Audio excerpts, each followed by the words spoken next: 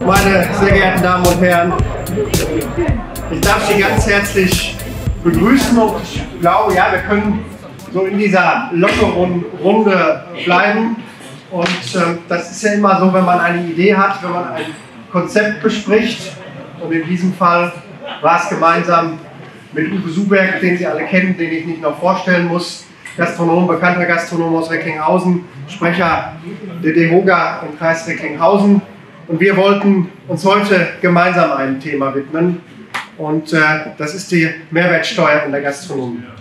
Und ich freue mich riesig, dass wir ganz, ganz viele Gastronomen und Akteure aus dem Kreis Recklinghausen einladen konnten, gewinnen konnten zu dieser Veranstaltung. Und Sie sollen heute im Mittelpunkt stehen. Wir wollen Ihnen zuhören. Wir wollen mit Ihnen diskutieren, warum es so wichtig ist, dass wir den Mehrwertsteuersatz, den jetzt eigentlich die äh, Ampelkoalition erhöht hat, dass wir den reduzierten Satz wiederbekommen. Wir wollen zuhören, deswegen kann ich Sie nur herzlich einladen. Melden Sie sich gleich zu Wort, diskutieren Sie mit uns. Es ist wirklich richtig klasse, dass wir so eine bunte Vielfalt haben, denn das muss man auch mal ganz klar sagen. Der Kreis Recklinghausen hat gastronomisch, hat aber auch im Bereich Tourismus unglaublich viel zu bieten. Und das sehen wir heute an den Teilnehmerinnen und Teilnehmern. Da ist das Café in einem Ortsteil. Da ist der Biergarten. Da ist das Restaurant. Da ist ein Hotel. Da ist die Szene. Und wenn wir jetzt auch noch Gutton haben, dann noch besser.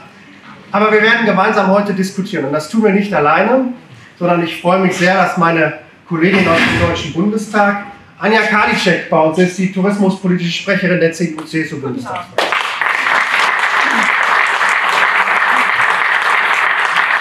Ist tatsächlich vom Fach. Sie hat ihre Ausbildung gemacht, im familieneigenen Hotelbetrieb gearbeitet und deswegen eine echte Expertin.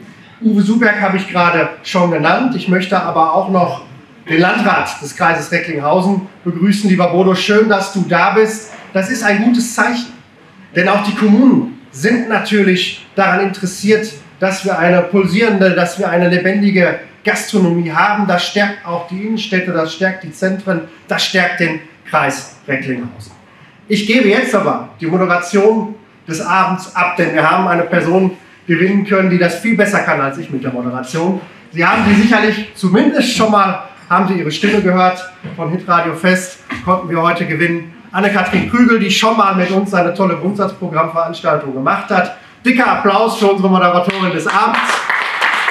Und, äh, ich habe jetzt nicht so viel geredet, ich gebe Sie auch Dankeschön. Also demnächst buche ich Sie, wenn ich angekündigt werde. Umso besser. Wunderbar. Ich sage auch äh, einen wunderschönen guten Abend und herzlich willkommen. Ich freue mich, dass so viele an einem regnerisch, nass, kalt, urseligen Montag, der immer irgendwie zu lang ist, gekommen sind. Und Herr Weimann hat es gerade schon gesagt, Sie sollen gleich zu Wort kommen. Also ich werde mit dem Mikrofon rumlaufen, auf Ihre Wortmeldung achten. Ich bin ein bisschen was blind. Wenn ich das nicht sofort sehe, ruhig den Arm noch mal kurz oben lassen, ich komme dann vorbei. Daran schließt sich eine kleine Anmerkung an. Wir haben ja eine Kamera hier vorne haben aber auch eine mobile Kamera. Das heißt, wenn Sie gleich nicht, wenn Sie eine Wortmeldung haben, gefilmt werden möchten, sagen Sie kurz Bescheid, ist gar kein Problem, dann bleibt die Kamera an der Stelle aus. Am Freitag war ich noch essen, vergangene Woche so ein bisschen mit dem Blick natürlich auf die heutige Veranstaltung in einem Restaurant in Recklinghausen. Zwei Personen, Hauptgang, Nachtisch, Getränk, 80 Euro. Fand ich nicht viel. Meine Freundin, die mit mir unterwegs war, aber sofort geschockt hat, so viel habe ich hier noch nie bezahlt ich weiß nicht, ob man an vielen Stellen das schon spürt mit der Mehrwertsteuererhöhung. Viele haben sie aber schon im Kopf. Und mit Ihnen wollen wir darüber sprechen. Und die Leute, die ich hier vorne so ein bisschen zum Ankitzeln haben möchte, die hat Herr Dreimann gerade auch schon angekündigt. Ich begrüße Frau Kalischek und Herrn Suberg.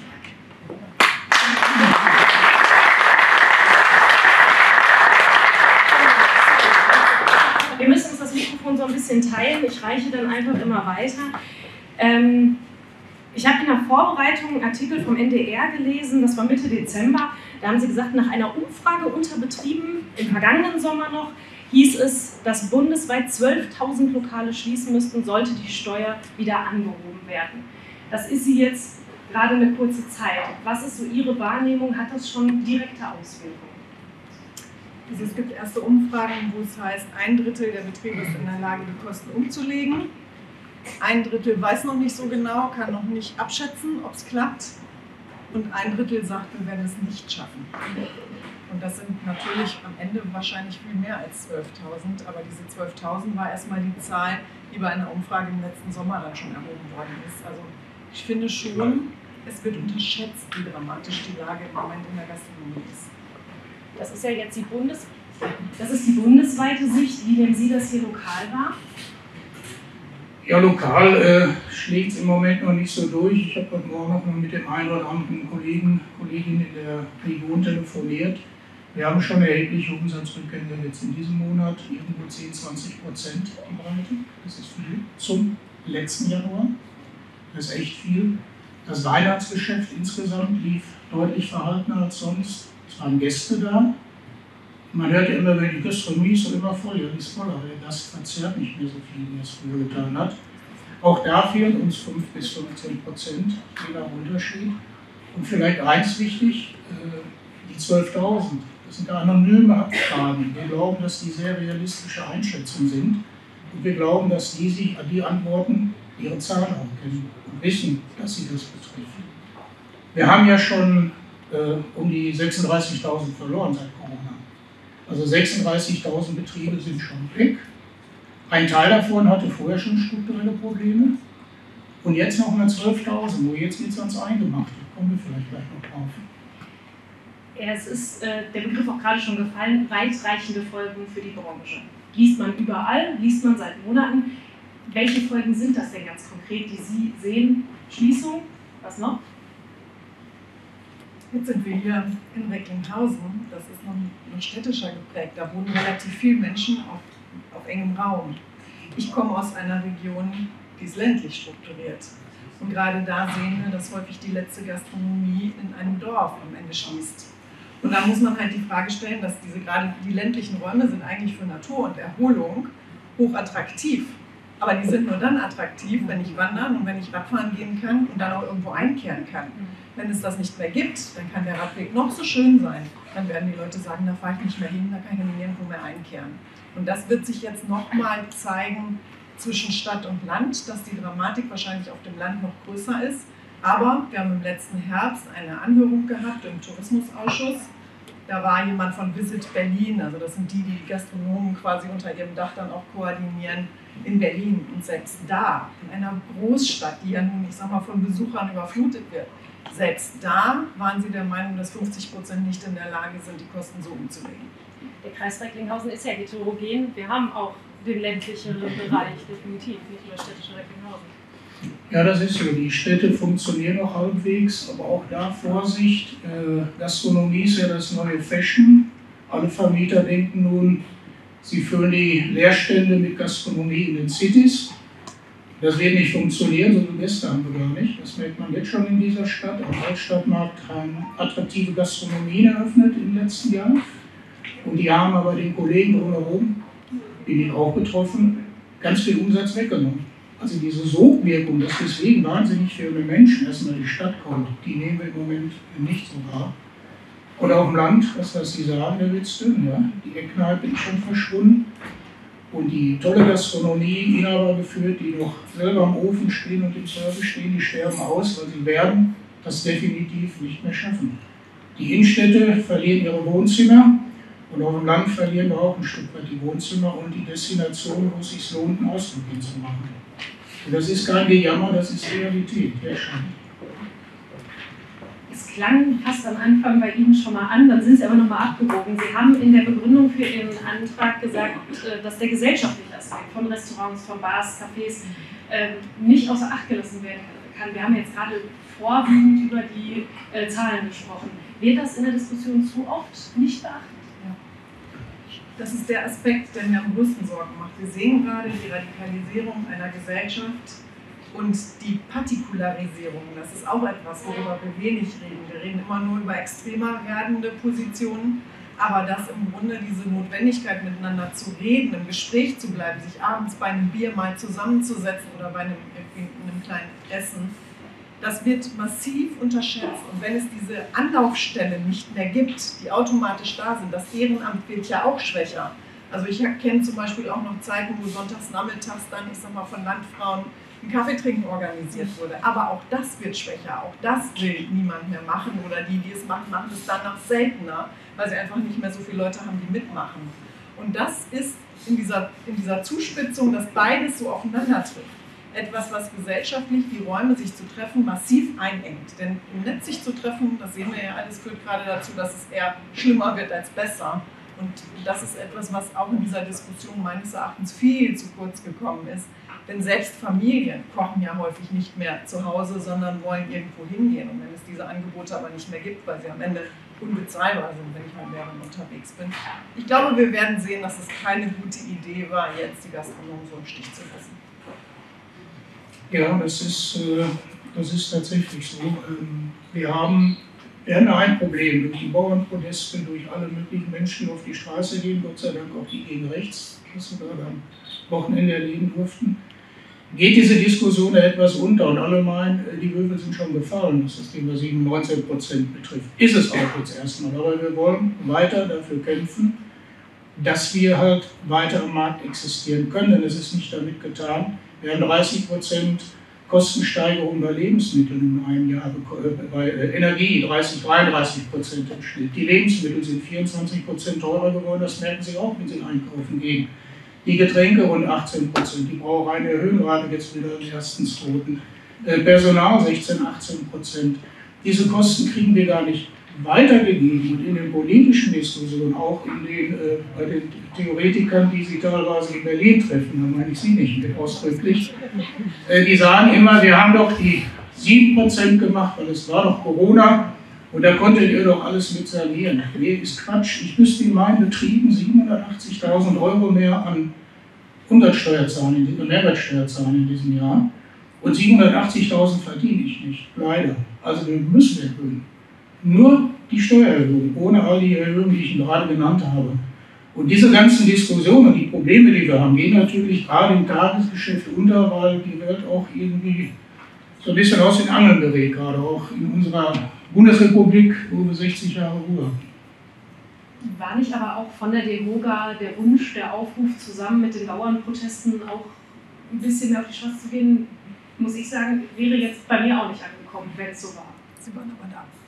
Also ich bin da gewesen letzte Woche Montag und die Gastronomen waren da. Die hatten ganz schöne Luftballons, sodass man sie auch überall sehen konnte, wo sie waren.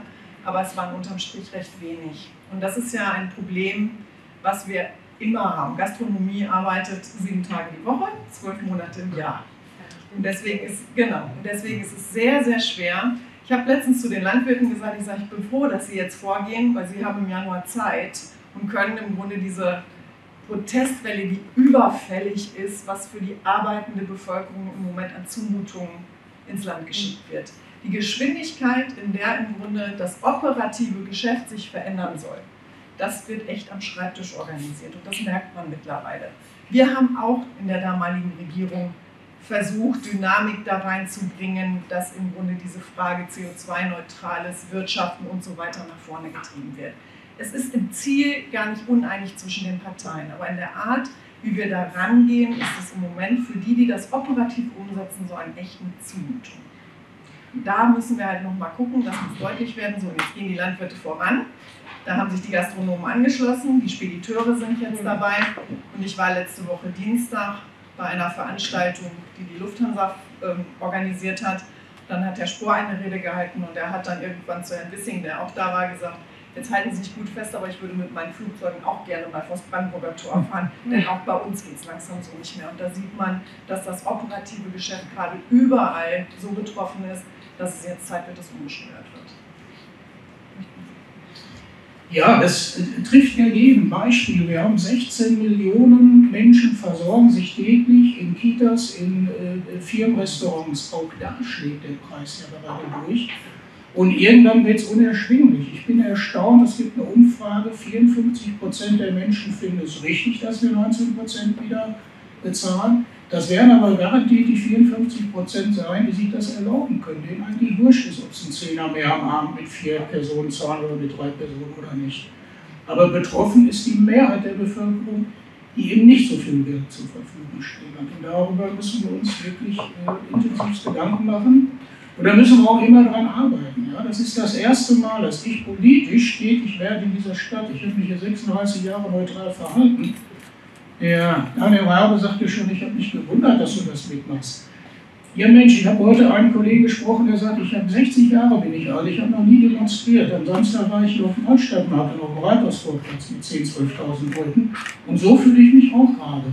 Ich merke einfach, wir müssen mehr tun. Gastronomen sind schwer zu bewegen. Die kriegen wir schwer auf die Straße. Wir haben erstmal keinen subventionierten Agrardiesel und können damit nicht nach Berlin fahren. Aber wir haben auch die Zeit gar nicht dafür, weil wir in unserem Boden stehen, weil wir Personalmangel haben, weil, weil uns alles um die Ohren fliegt. Wir können gar nicht raus. Wir sind froh, wenn wir jetzt inzwischen nicht Urlaub machen können. Aber wir kriegen sie nicht so sehr bewegt. Und so ein Traktor zu fahren ist natürlich auch imposanter als wenn wir da mit einer Kochmütze und Löffel rumlaufen. Das sah aber trotzdem gut aus. Wenn sie Fingerfood servieren, dann haben sie sofort wieder alle auf ihrer Seite. Ähm, ich habe von einem Gastronomen gelesen, kam nicht hier aus der Ecke, ähm, der sagte, die Erhöhung kommt zu früh. Schließe ich jetzt raus, er wäre per se gar nicht dagegen gewesen. Also ich habe in dieser Diskussion, es gibt natürlich immer Diskussionen gar nicht, oder ich hatte auch bei uns in der Partei natürlich Diskussionen, wo Leute gesagt haben, auch Kollegen von uns, die gesagt haben, ordnungspolitisch ist das nicht in Ordnung, dass man eine Branche bevorzugt.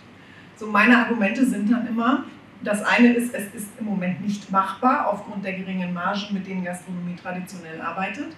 Das zweite ist für mich immer das Argument, an allen Grenzen Deutschlands treffen wir auf einen Wettbewerber, der ermäßigte Mehrwertsteuer hat, also beispielsweise Österreich, hat einen durchgängigen Mehrwertsteuersatz in der Gastronomie von 10% für Essen und Getränke.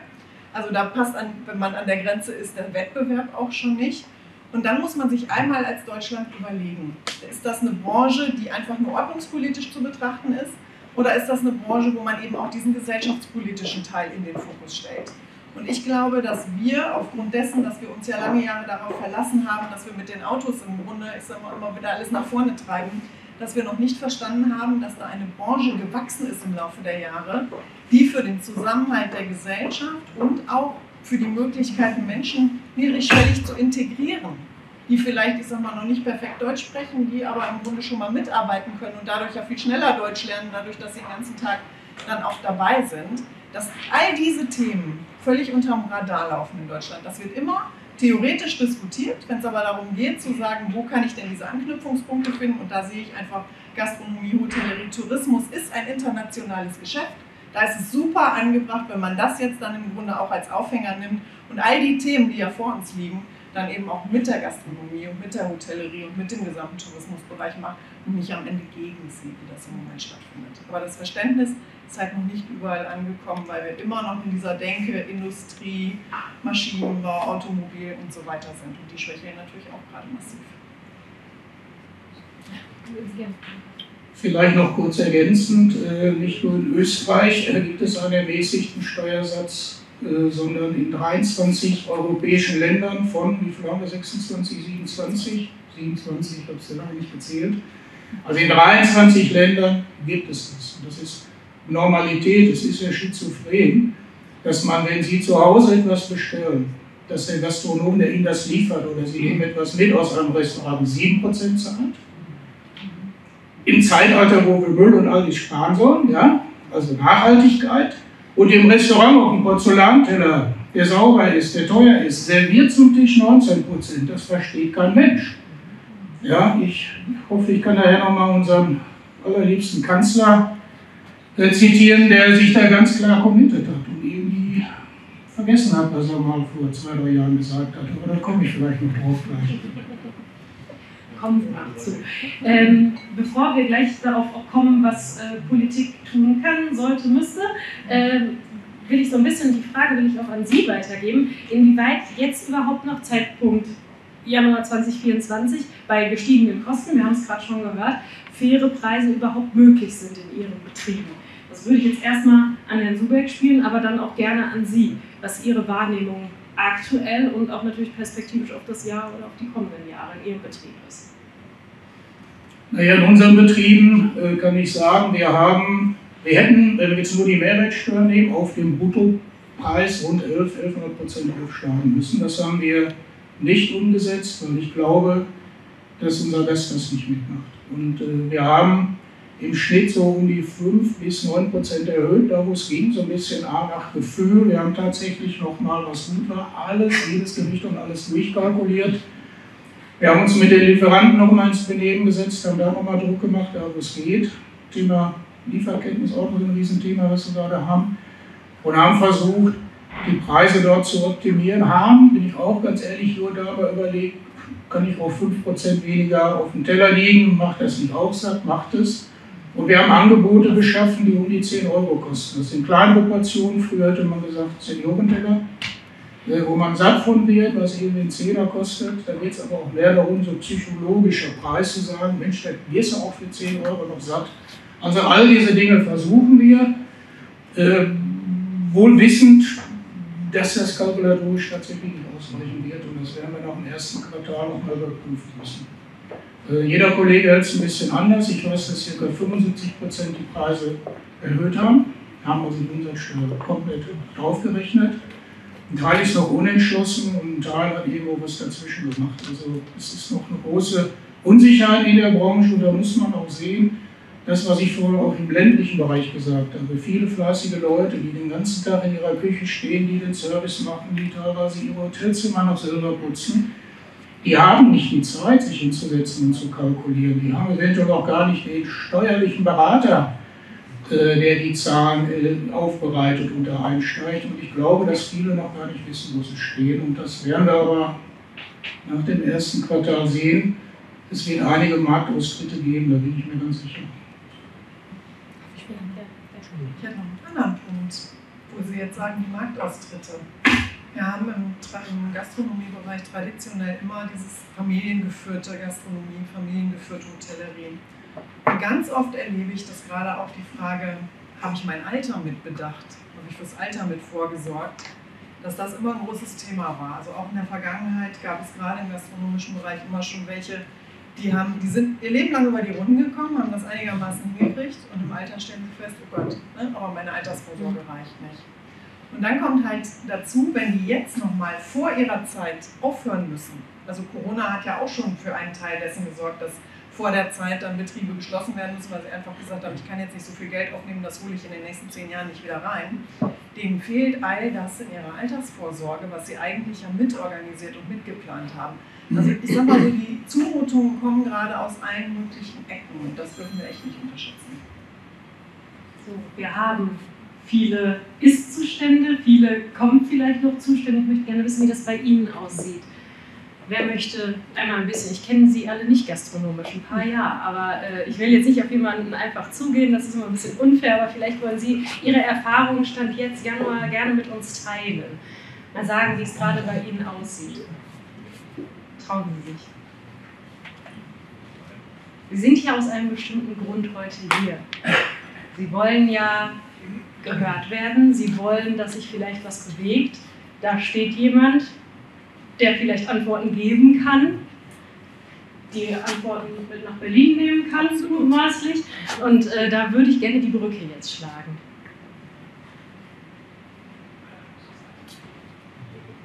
deine Beratung. Manchmal muss man nur ganz lange gucken und dann passiert was. Dürfen wir die Kamera benutzen oder nicht?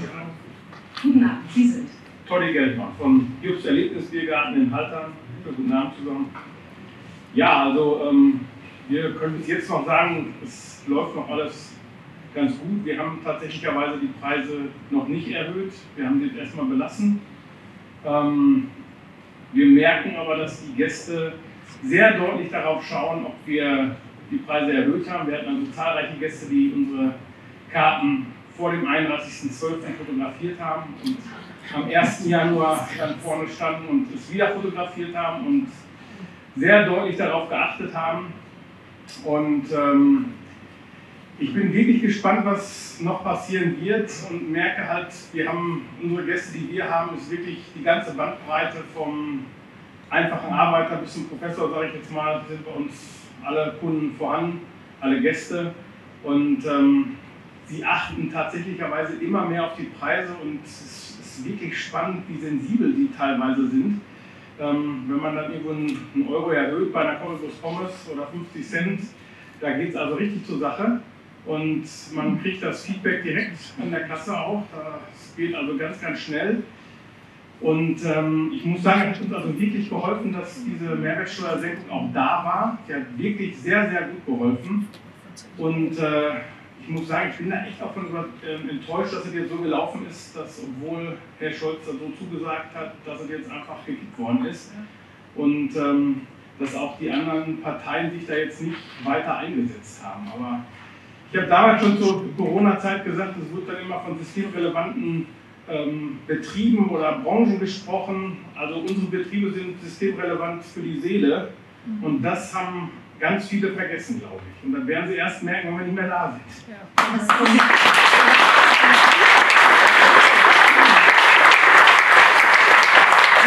quasi zwei Kategorien, die wir gerade hatten. Einmal ländlich und Ausflugslokal und dann halt, was Sie jetzt gerade selber gesagt haben, das Zusammenkommen, das Gesellschaftliche. Da wird sich, sagen Sie, groß was verändern. Ja, wir, merken es halt, wir haben ziemlich viele ähm, auch Familien da, die dann mit ihren, ähm, mit ihren kleinen Kindern kommen, die einfach mal da sein wollen, die einfach eine schöne Zeit verbringen wollen. Aber wenn natürlich dann auf einmal das Bier nachher 6, 7 Euro kostet und äh, der Cappuccino, keine Ahnung, 5 Euro kostet, dann machen sie das wahrscheinlich noch zwei, dreimal im Monat, aber nicht mehr sechs oder sieben Mal, wie sie es vorher gemacht haben. Und ähm, dann wird es halt irgendwann eng. Ne? Es ist halt einfach die, auch die, die Masse, die man braucht, um das Ganze, was alles da ist, abzudecken. Und auch diese, diese wunderbare Sache mit dem, äh, mit dem Mindestlohn, ist ja alles ganz wunderbar, dass man das eingeführt hat und ist auch alles richtig. Ähm, was nur vergessen worden ist dabei, wenn ich jetzt einem 18-jährigen Mädel oder einem Burschen für Tische abräumen, inzwischen dann 12,41 Euro oder so ähnlich zahlen soll, ich darf dann umrechnen in 25 Mark fast, ähm, dann ist immer die Frage, was gebe ich denn jetzt meiner Spülfrau, die seit 30 Jahren in der Spülküche steht, gebe ich der jetzt 45 Euro, dass es, gleich, dass es gerecht bleibt? Auch das sind Sachen, wo überhaupt nicht drüber nachgedacht worden ist, glaube ich zumindest, gefühlt. Und es wird einfach immer weiter angehoben und ähm, es wird immer weiter Druck gemacht, es wird immer noch eine Schippe oben drauf gesetzt. Mal gucken, wie lange es hält, bis dann das Ganze zusammenbricht. Aber da sind die Herrschaften in Berlin ja recht schmerzfrei. Die sind ja weit weg von gefühlt. Wie lange dauert es denn, bis das Bier 6 Euro kosten wird? Ja, das kommt auf die Größe. Das dauert nicht mehr lange, weil also alleine unsere Vertreter haben letztes Jahr, äh, unsere Bierlieferanten haben letztes Jahr zweimal die Preise erhöht. Ähm, und ja, also wenn ich daran denke, also jetzt bei unserem kleinen Betrieb, wir zahlen alleine 600 Euro nur dafür im Monat, dass die Bierleitungen gereinigt werden. Da muss man sich auch mal auf der Zunge zergehen lassen. Und auch diese Preise werden alle angehoben, immer sukzessive, immer ein bisschen weiter. Und ähm, ich glaube schon, dass das dieses Jahr schon was werden wird. Also wir bauen ja, bauen ja auch unser eigenes Bier und da war immer die Grenze schon, da kostet 0,11 Euro. Und dann kostete halt ein äh, Feldhit etc. 80 Cent, 70 Cent pro 0,1. Und wir sind inzwischen bei einem normalen Pilz bei 1,01 Euro. Es wird langsam wirklich ein bisschen eng. Was ist Ihr expliziter Wunsch an die Politik? Ja, also dass es auf 7% zurückgeht, glaube ich zwar nicht, aber wenn man einen einheitlichen Steuersatz von 10% zum Beispiel hätte, würde das schon mal wirklich helfen, definitiv. Und ähm, dass man gerade diese ganzen bürokratischen Sachen einfach mal wirklich runterschraubt und ein bisschen egalisiert, dass es nicht so riesenaufwendig ist, wie es gerade jetzt ist. Weil auch diese ganzen Sachen, wie die Politik uns aufdrückt mit den ganzen Vorschriften, ist ja, ist ja einfach unfassbar. Auch jetzt bei den, bei den Mindestlöhnen etc., da sind ja diese ganzen Sachen, wir sitzen ja teilweise mehr im Büro, als das so in einer Theke steht. Von daher, das wäre mal der Wunsch. Einheitlich 10% und mal ein bisschen die Bürokratie runterschrauben, auch ein bisschen mehr gerne. Dankeschön. Die Frage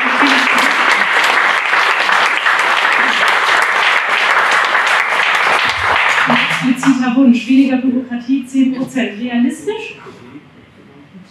Naja, ich, also ich fange mal so an. Wir haben uns natürlich auch in dieser Art wenn, wir, wenn Gerechtigkeit greifen soll, dann wird es immer komplizierter. Und wir haben viele, viele gute Jahre gehabt, wo man immer nur draufgesattelt hat. Und ich glaube, jetzt ist die Zeit, wo es mal um Konsolidierung geht und mal um die Frage, kann ich nicht auch Dinge vereinfachen? Und dann kommt auch noch dazu, und das erlebe ich nicht nur in der Gastronomie, das höre ich auch bei ganz vielen Landwirten, dass mit einem gewissen Vorurteil diese Kontrollen schon durchgeführt werden. Sodass man sagt, naja, da wird ja sowieso irgendwie geschummelt. Und dass dementsprechend, ich sage mal auch nie, lösungsorientiert dann mal danach gesucht wird, kann man das eigentlich gemeinsam einfacher machen oder zum Beispiel auch mal zu sagen, Betriebe, wo ich vielleicht drei, vier Mal gewesen bin und habe eigentlich nichts Wesentliches gefunden, dann einfach mal zu sagen, naja, dann mache ich mal diese Abstände ein bisschen größer, dann wäre dieses Theater auch nicht immer, ich sag mal so, dieses, und auch dieses Gefühl, so kleinteilig und so, ich sag mal, negativ kontrolliert zu werden. Das ist, glaube ich, ein Punkt. Und man kann, glaube ich, schon hingehen und mal gucken, ob nicht, ich sag mal, was alles von unterschiedlichen kontrolliert wird, ob man da nicht auch mal was zusammenfassen kann und ob man das nicht auch ein Stück weit vereinfachen kann. Ich glaube, da ist operativ vor Ort eine Menge drin. Ich erlebe das ja bei meinen Brüdern. Dann kommt einer für den Brandschutz, dann kommt einer für die, ähm, fürs HCCP, dann kommt einer für das Wasser im Schwimmbad, dann kommt ein, also es kommt ja gefühlt, genau, es kommt ja jeden Tag irgendwie gefühlt einer und kontrolliert irgendwas anderes. Und interessanterweise höre ich auch immer wieder, dass diese Frage von Ausnahmen, die häufig im Gesetz festgehalten sind, dass die vor Ort abgelehnt werden. Das ist zum Beispiel auch etwas, was wir uns in Berlin nochmal angucken müssen wir nehmen auf, Ausnahmen auf, zum Beispiel auch bei der Bonpflicht haben wir ganz explizit gesagt, es kann Ausnahmen geben. Und diese Ausnahmen müssen vor Ort dann mit den jeweiligen Steuerbehörden, Finanzamt dann auch besprochen werden. Wenn das Finanzamt aber von vornherein sagt, Gastronomie kriegt überhaupt keine Ausnahme, das ist doch Quatsch. Wenn man ein System hat, was im Grunde sicherstellt, dass das alles festgehalten wird, dann muss ich doch nicht alles ausdrucken. Und diese Dinge, das müssen wir uns, glaube ich, nochmal angucken, die Ausnahmen, die wir uns oft in Berlin vorstellen, werden vor Ort nicht gelebt. Das ist das eine für Kontrollen. Und dann würde ich gerne einen anderen Punkt machen. Das Thema Tarifgefüge haben Sie angesprochen. Das ist das Problem, wenn man zu schnell zu viele Dinge auf einmal ändert. Deswegen ist, glaube ich, auch gerade auf Bundesebene eine gewisse Langsamkeit ein Vorteil, weil dann kann sich das in all diese alle die Ebenen, wo es Wirkung zeigt, zum Beispiel so ein Mindestlohn, kann sich dann in Ruhe entwickeln und dann kann sich auch dieses Tarifgefüge am Ende mitentwickeln. Wenn man aber von einer Bundestagswahl zur nächsten sagt, so jetzt sollen es 12 sein, die diskutieren ja jetzt schon 4 oder 14 oder 15 Euro. Jetzt nehmen wir mal an, in zwei Jahren fangen wir dann mit 14 oder 15 Euro an. Wir müssen das ganze Tarifgefüge, was dann in jedem Unternehmen oder in, in jeder Branche. Es muss ja wieder angepasst werden. Das geht nicht so schnell, dass ich das mal eben mit einem Schnipp von heute auf morgen mache. Und dann haben wir noch ein weiteres Problem und das zeigt sich zunehmend, dass das Lohnabstandsgebot nicht mehr passt. Gerade da, wo nicht so viel verdient wird, dass ich jetzt irgendwie Stundenlöhne von 20 auf 25 Euro habe. Da passt es nicht zu denen, was wir an Sozialleistungen im Moment zahlen. Und das ist das große Problem. Es geht gar nicht darum zu sagen, ist das Bürgergeld zu viel oder zu wenig. Aber es passt vom Abstand her nicht mehr. Die Anreize, arbeiten zu gehen, sind vielfach zu gering. Und daran leiden wir halt auch. Und das ist, wir müssen uns das ganze Gefüge mal angucken. Es geht nicht darum, irgendwen an den Pranger zu stellen, sondern es geht darum zu gucken, sind die Anreize, Leistung zu bringen, in diesem Land noch richtig verteilt. Und da glaube ich, dass die, die arbeiten, die das die operative Wertschöpfung in diesem Land schaffen, dass die im Moment echt benachteiligt zugunsten all derer sind, die kontrollieren, die es, ich sag mal, auf anderen Wegen dann vom Staat kriegen.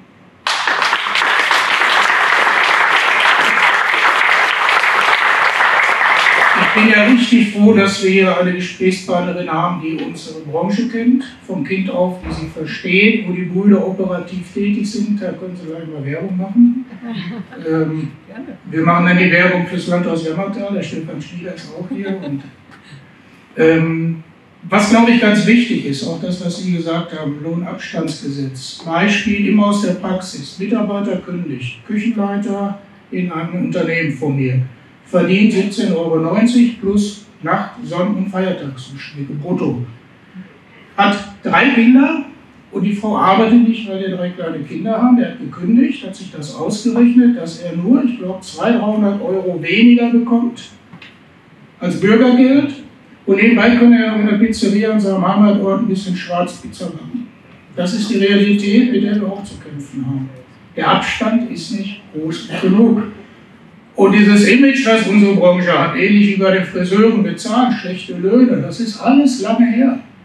Also seit fünf, sechs, sieben, acht Jahren, wir haben hier steuerehrliche Unternehmer, die hier äh, sind. Wenn ich jetzt mal Lambertal sehe, die Parkhotel Engelsburg, die sind so ein bisschen geblendet, ich sehe gerade nicht alle. Äh, der in Haltern, äh, der da auch eine Bank ist. Wir arbeiten steuerehrlich und wir haben verdammt hohe Lohnkosten und hohe Lohnnebenkosten. Ein Koch verdient heute mehr als ein Arzt, der gerade neu in einer Klinik anfängt. Ein Küchenleiter verdient mehr als ein ausgebildeter Arzt. Das muss man erst mal sehen. Ja, ein Spüler liegt heute über 14, 15 Euro brutto. Das ist also alles verrückt und äh, das ist die Realität. Ähm, mir wäre es, das wäre ein großer Wunsch. Es ist so, sorry, brauchen wir so lange, aber ich komme gleich auf den Punkt. Während Corona, als die ganzen Maßnahmen waren, hat Professor Dr. Äh, äh, Pinkwart äh, damals als Minister hier so eine Runde eingerichtet, fünf Hoteliers, fünf Gastronomen. Da haben wir viel diskutiert.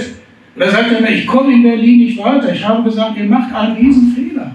Ihr redet nicht mit Fachleuten. Warum nehmt ihr nicht ein paar vernünftige Hoteliers, ein paar vernünftige Gastronomen dazu, aus allen Größenordnungen, Branchen, Systemgastronomie, holt uns am Tisch und diskutiert doch mal die Corona-Maßnahmen oder die Wirtschaftshilfen, die teilweise überkompensiert hier und da waren und teilweise gar nicht ausgereicht haben.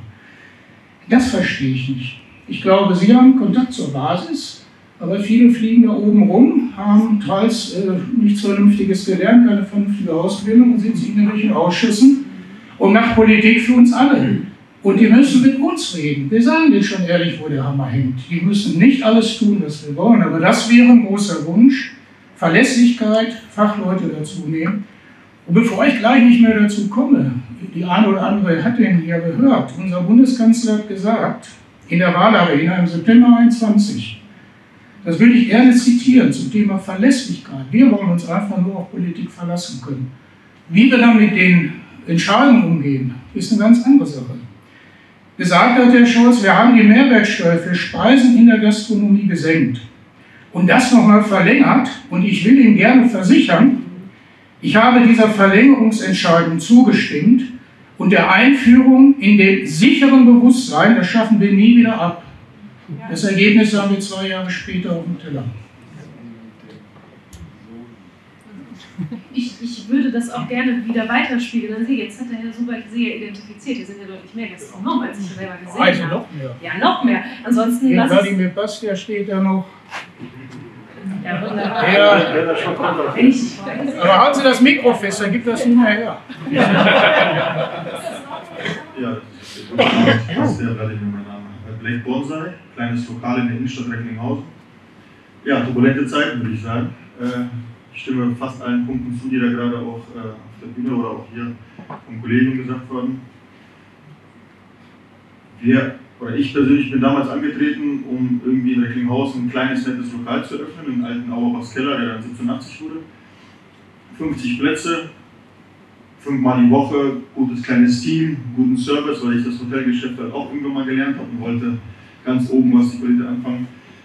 Und dann kamen wirklich die letzten drei, vier Jahre Zeiten, wo man sich jetzt nicht mehr als Gastgeber sieht, sondern in jedem zweiten Meeting mit Personal und mit den Leitern. Bei mir ähm, geht es eher um Verpflegung. Das Wort kommt immer wieder. Wie können wir irgendwas angehen? Beispiel. Wenn wir uns vor fünf Jahren hingesetzt haben und gesagt, wir brauchen eine neue Karte in acht Wochen, hat man ein bisschen recherchiert, hat ein paar eigene Ideen eingebracht, hat eine Karte geschrieben, ist dann zum Lieferanten, hat dann gesagt, okay, mach uns mal einen guten Preis für Fisch, Fleisch, Gemüse, schieß. Und dann hat man den Preis kalkuliert, seine Margen hochgerechnet und gesagt, okay, das muss irgendwie unterbleiben. Und dann ist man in den Markt, hat die Karte dann ausgedruckt, dann kamen die Gäste und gesagt, oh, das ist ja lecker hier, haben die Rechnung bezahlt und haben das weiterempfohlen. Mittlerweile, und das muss man sich mal auf der Zunge zergehen lassen, rufen wir Lieferanten an und sagen, was kannst du uns maximal zu diesem PK, also unserem Einkaufspreis, anbieten? Wir reden schon lange nicht mehr von Filet oder von Jakobsen. Die habe ich schon seit zwei Jahren von der Karte genommen. Dann nennt er uns einen Preis, wir kalkulieren nicht mehr hoch, sondern wir kalkulieren runter. Und dann sagt er, wir können uns diesen Fisch oder dieses äh, Fleischgericht vorstellen, dann setzen wir uns hin aus der Not, kreieren ein Gericht, was am Ende super schmeckt, das ist tolle Qualität, wir arbeiten mit teilweise lokalen Lieferanten, teilweise auch sehr guten Großhändlern. Und das muss man mal einmal verinnerlichen. Wir kalkulieren runter, nicht mehr hoch. Und wenn der Gast dann kommt und sagt, das ist aber gut, wo ist denn das Filet, was wir jetzt irgendwie gefühlt für 40 Euro, und wir reden jetzt nicht von Wagyu, wir reden von einem Standardfilet, auf der Karte nicht mehr anbieten können, weil auch, so wie du sagst, Uwe, psychologisch muss man da jetzt dran gehen. Das heißt, wir tricksen, und das meine ich jetzt nicht auf der qualitativen Ebene, sondern wir tricksen auf einer Marketing-Ebene, um Kunden immer noch bei Laune zu halten, um denen das Gefühl von Gastfreundschaft zu geben, um denen das Gefühl von Ambiente zu geben. Am Ende ist der satt, der hat einen netten Abend, hat natürlich ein bisschen Alkohol getrunken, wie wir hoffen. Hat dann auch irgendwie einen Bon, den er sich noch irgendwie leisten kann. Noch, die Betonung ist extra darauf gelegt. Aber wir können nicht mehr unsere Kreativität, was auf den Teller kommt, ausleben, weil es einfach von den Einkaufskonditionen nicht mehr passt. Macht keinen Spaß mehr. Das macht locker keinen Spaß mehr. Und das Thema Restaurant, weil ich eingangs, eingangs gesagt hatte, wir müssen uns jetzt auf drei Säulen äh, stützen. Das ist der Lieferdienst. A, weil es immer noch die 7,5% ist. Und da sage ich auch noch, vielleicht gibt es ja auch nochmal Veränderungen, wenn die Kasse knapp wird. Und das Thema äh, irgendwie kleinere Caterings. Äh, ich hatte An Anfragen von Kitas, da habe ich echt überlegt, wir haben das im Team besprochen. Nehmen wir so eine Kita-Versorgung hier, also ein, ein Standort hier in der Region, nehmen wir das an, da reden wir wieder über Verpflegung. Wir sind keine Caterer, wir sind keine Verpflegungsinstitution, die eine Fabrik hat und Verpflegungsgastronomie macht, sondern wir sind ein kleines Lokal, was äh, die Gäste bei Laune hält. Und da muss man sich ernsthaft Gedanken machen, wie kann man die Rechnung und die Löhne immer noch am Ende des Monats bezahlen. Fachpersonal, vielleicht auch nochmal, die Frage kam, was könnt ihr für Tipps geben? Ich habe Bewerber, die haben Vollzeitstellen, die arbeiten bei der Krankenkasse, die arbeiten in der Industrie, bewerben sich bei uns, weil die uns irgendwie auch nett finden und haben Spaß mit Gästen, weil die vielleicht doch im Büro zu wenig Kontakt haben. Und dann kommen wir ins Gespräch, sagt ja dann, auf 520 Euro die anzumelden und dann können die wenigstens einmal die Woche am Sonntag oder ne, da wo die halt Zeit haben oder auch in der Woche. Und dann sagen die, ja, aber ich habe schon äh, eine Putzstelle oder was auch immer, die, die auch in anderen Branchen nicht auf die Geld kommen, Inflation Stichwort. Einfach nur mal so als Gedankenstütze, in anderen Ländern gibt es das wahrscheinlich häufiger. Warum können wir nicht Fachleute, die gastfreundlich sind, vielleicht auch ein bisschen quer einsteigen wollen, mit 520 Euro steuerfrei anmelden, dass sie vielleicht zwei, drei Jobs haben, ohne dass wir Brief bekommen, weil der Mitarbeiter vergessen hat, sich irgendwo abzumelden. Da kriegen wir Strafen, da kriegen wir Abmahnungen, weil wir ihn abmelden. Er war, wo, war aber vorher woanders angemeldet.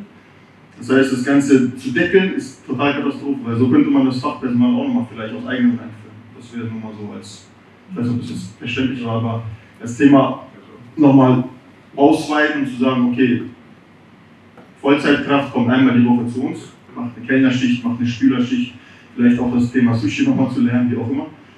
Der wird aber dann so versteuert, er sagt, Herr Vladimir, passiert gar nichts, das lohnt sich gar nicht für mich, bei dir nochmal einmal die Woche auszuhelfen, weil es für mich dann nur Abzüge gibt. Also an der Basis vielleicht auch nochmal angreifen.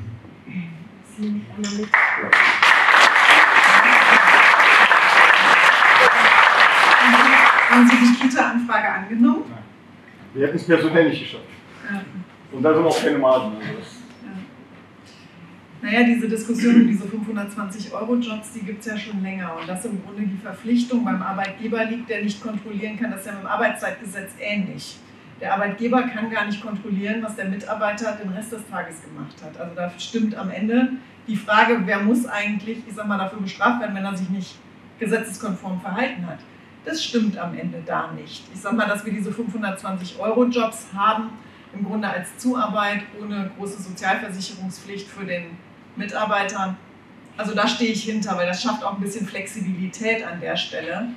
Aber die Frage, wer muss eigentlich bestraft werden, wenn da irgendwas schiefgelaufen ist, die Frage muss man halt mal stellen. Und am Ende müsste ja dann zum Beispiel auch eine Krankenkasse, wenn sie zwei Anmeldungen hat, oder halt die Bahn, wie heißen die, Bahnsee, Bahn, von der Knappschaft, dass wenn die, wenn die im Grunde die Meldung kriegen von einem, von einem, der halt dann zwei Jobs hat, dann müssten die sich ja mal melden und sagen, das kann nicht sein, das darf so nicht sein, da muss er, da muss er sich jetzt entscheiden, wo will er denn diese 520 Euro machen oder gehen beide runter auf 260 Euro oder wie auch immer.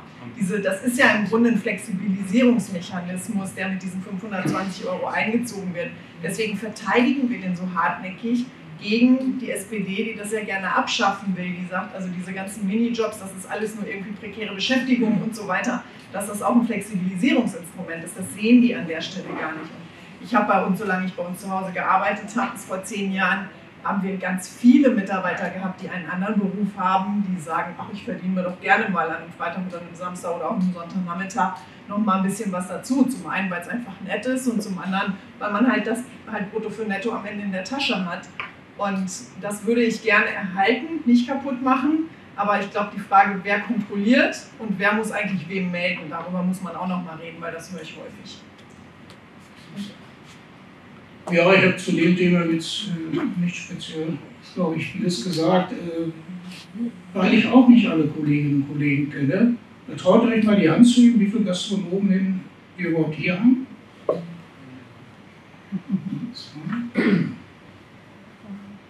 Oh, ja, okay. Also gerne zu Wort melden. Ich weiß, dass das, was wir hier besprechen, zumindest als Botschaft transportiert wird in die Fraktionen und in die CDU-Fraktion. Und Anregungen hier aus der Praxis wären toll. Ne? Also traut euch ruhig was dazu zu sagen, weil Themen haben wir reichlich. Wer möchte? Erna Säule, ich habe schon jemanden gesichtet. Ja, Susanna Großmann. Manchmal ist es auch gut, wenn wir anonym solche Geschichten weitererzählen können. Weil das kommt dann auch in Berlin an, wenn man einfach mal so Beispiele auch bringen kann. Deswegen, ich bin dankbar dafür, wenn Sie mir viele mitgeben. Mein Name ist Susanna Großmann, ich bin äh, Geschäftsführerin vom Parkhotel Engelsburg, das schon seit etlichen Jahren. Jetzt müsste es mein 16. Jahr in diesem Hause sein und ich habe ja wahrlich jetzt äh, rauf und runter und Corona und wieder nicht mehr Corona erlebt. Ähm, es wird uns immer schwerer gemacht, das muss man mal ganz klar sagen. Ich habe, äh, wir möchten gerne alles richtig machen. Wir möchten gerne gesetzeskonform unsere ähm, unser Betrieb äh, führen und ähm, wollen nirgendwo in einer Grauzone enden. Und das, äh, seitdem ich da angefangen habe, habe ich dafür gesorgt, dass wirklich alles richtig ist. Aber ähm, manchmal denkt man sich, naja, äh, müssen wir vielleicht eine andere Lösung finden, sprich Mindestlohn. Das hat uns richtig einen reingehauen. Ich habe 52 Mitarbeiter und habe äh, ja nicht nur meine diejenigen, die bei uns Mindestlohn verdienen, sind so die Zimmermädchen, der Spüler, ähm, also jung, gerade dazugekommene, die nicht keine Ausbildung haben, etc. Und ich musste natürlich alle Löhne in dem Moment von allen anderen Mitarbeitern auch anheben. Das ist natürlich auch mit einem Personalgespräch verbunden. Das ist nochmal damit verbunden, dass man alles miteinander anpasst. Und das ist ein Riesenaufwand gewesen. Natürlich hat jeder einen guten Lohn ähm, verdient. Und wir haben aber bei uns im Haus Mitarbeiter, die sind 25 Jahre da, teilweise 20 Jahre da. Wie soll ich, wo, wo, wo enden wir da? Wie soll ich das jemals bezahlen können? Beziehungsweise wie soll das mit dem ähm, abgedeckt werden, was die Gäste bei uns gewillt sind zu zahlen? Wir sind schon im Umkreis, möchte ich mal behaupten, dass ähm, ja, mit dem Jammertal wahrscheinlich ähm, das Haus, was die höchsten Preise ähm, im Internet äh, veröffentlicht hat. Das hat aber auch Sinn und Zweck, weil wir wollen auch weiter investieren. Wir haben in den letzten Jahren immens viel investiert. Wir haben äh, unsere Zimmer auf Vordermann gebracht. Wir haben hinten im Garten einen ganz tollen Platz geschaffen, äh, bei, den, bei dem man sitzen kann, obwohl man vielleicht auch im Regen sitzt, aber da ist jetzt alles äh, zu mit äh, sieben riesengroßen Schirmen. Ja, wir hatten Unterstützung in der Corona-Zeit, ja, aber wir haben sie auch für unsere Gäste genutzt. Ähm, und einmal ganz kurz, die sieben Prozent sind ja in einem Moment ähm, bei uns angekommen, wo wir teilweise zu hatten, weniger Gäste hatten ähm, wir haben ja gar nicht viel mehr Umsatz machen können mit diesen 7%. Das möchte ich auch nochmal zu denken geben. Natürlich auch die Bürokratie. Ähm, also wir mussten extrem viele Dinge verändern. Auch jetzt diese ähm, Krankmeldungen, das, ähm, das Einholen von äh, den Kranktagen der äh, Krankenkassen. All das, das kommt nochmal dazu, also es, wird, es hört eigentlich gar nicht auf, es gibt immer wieder was Neues.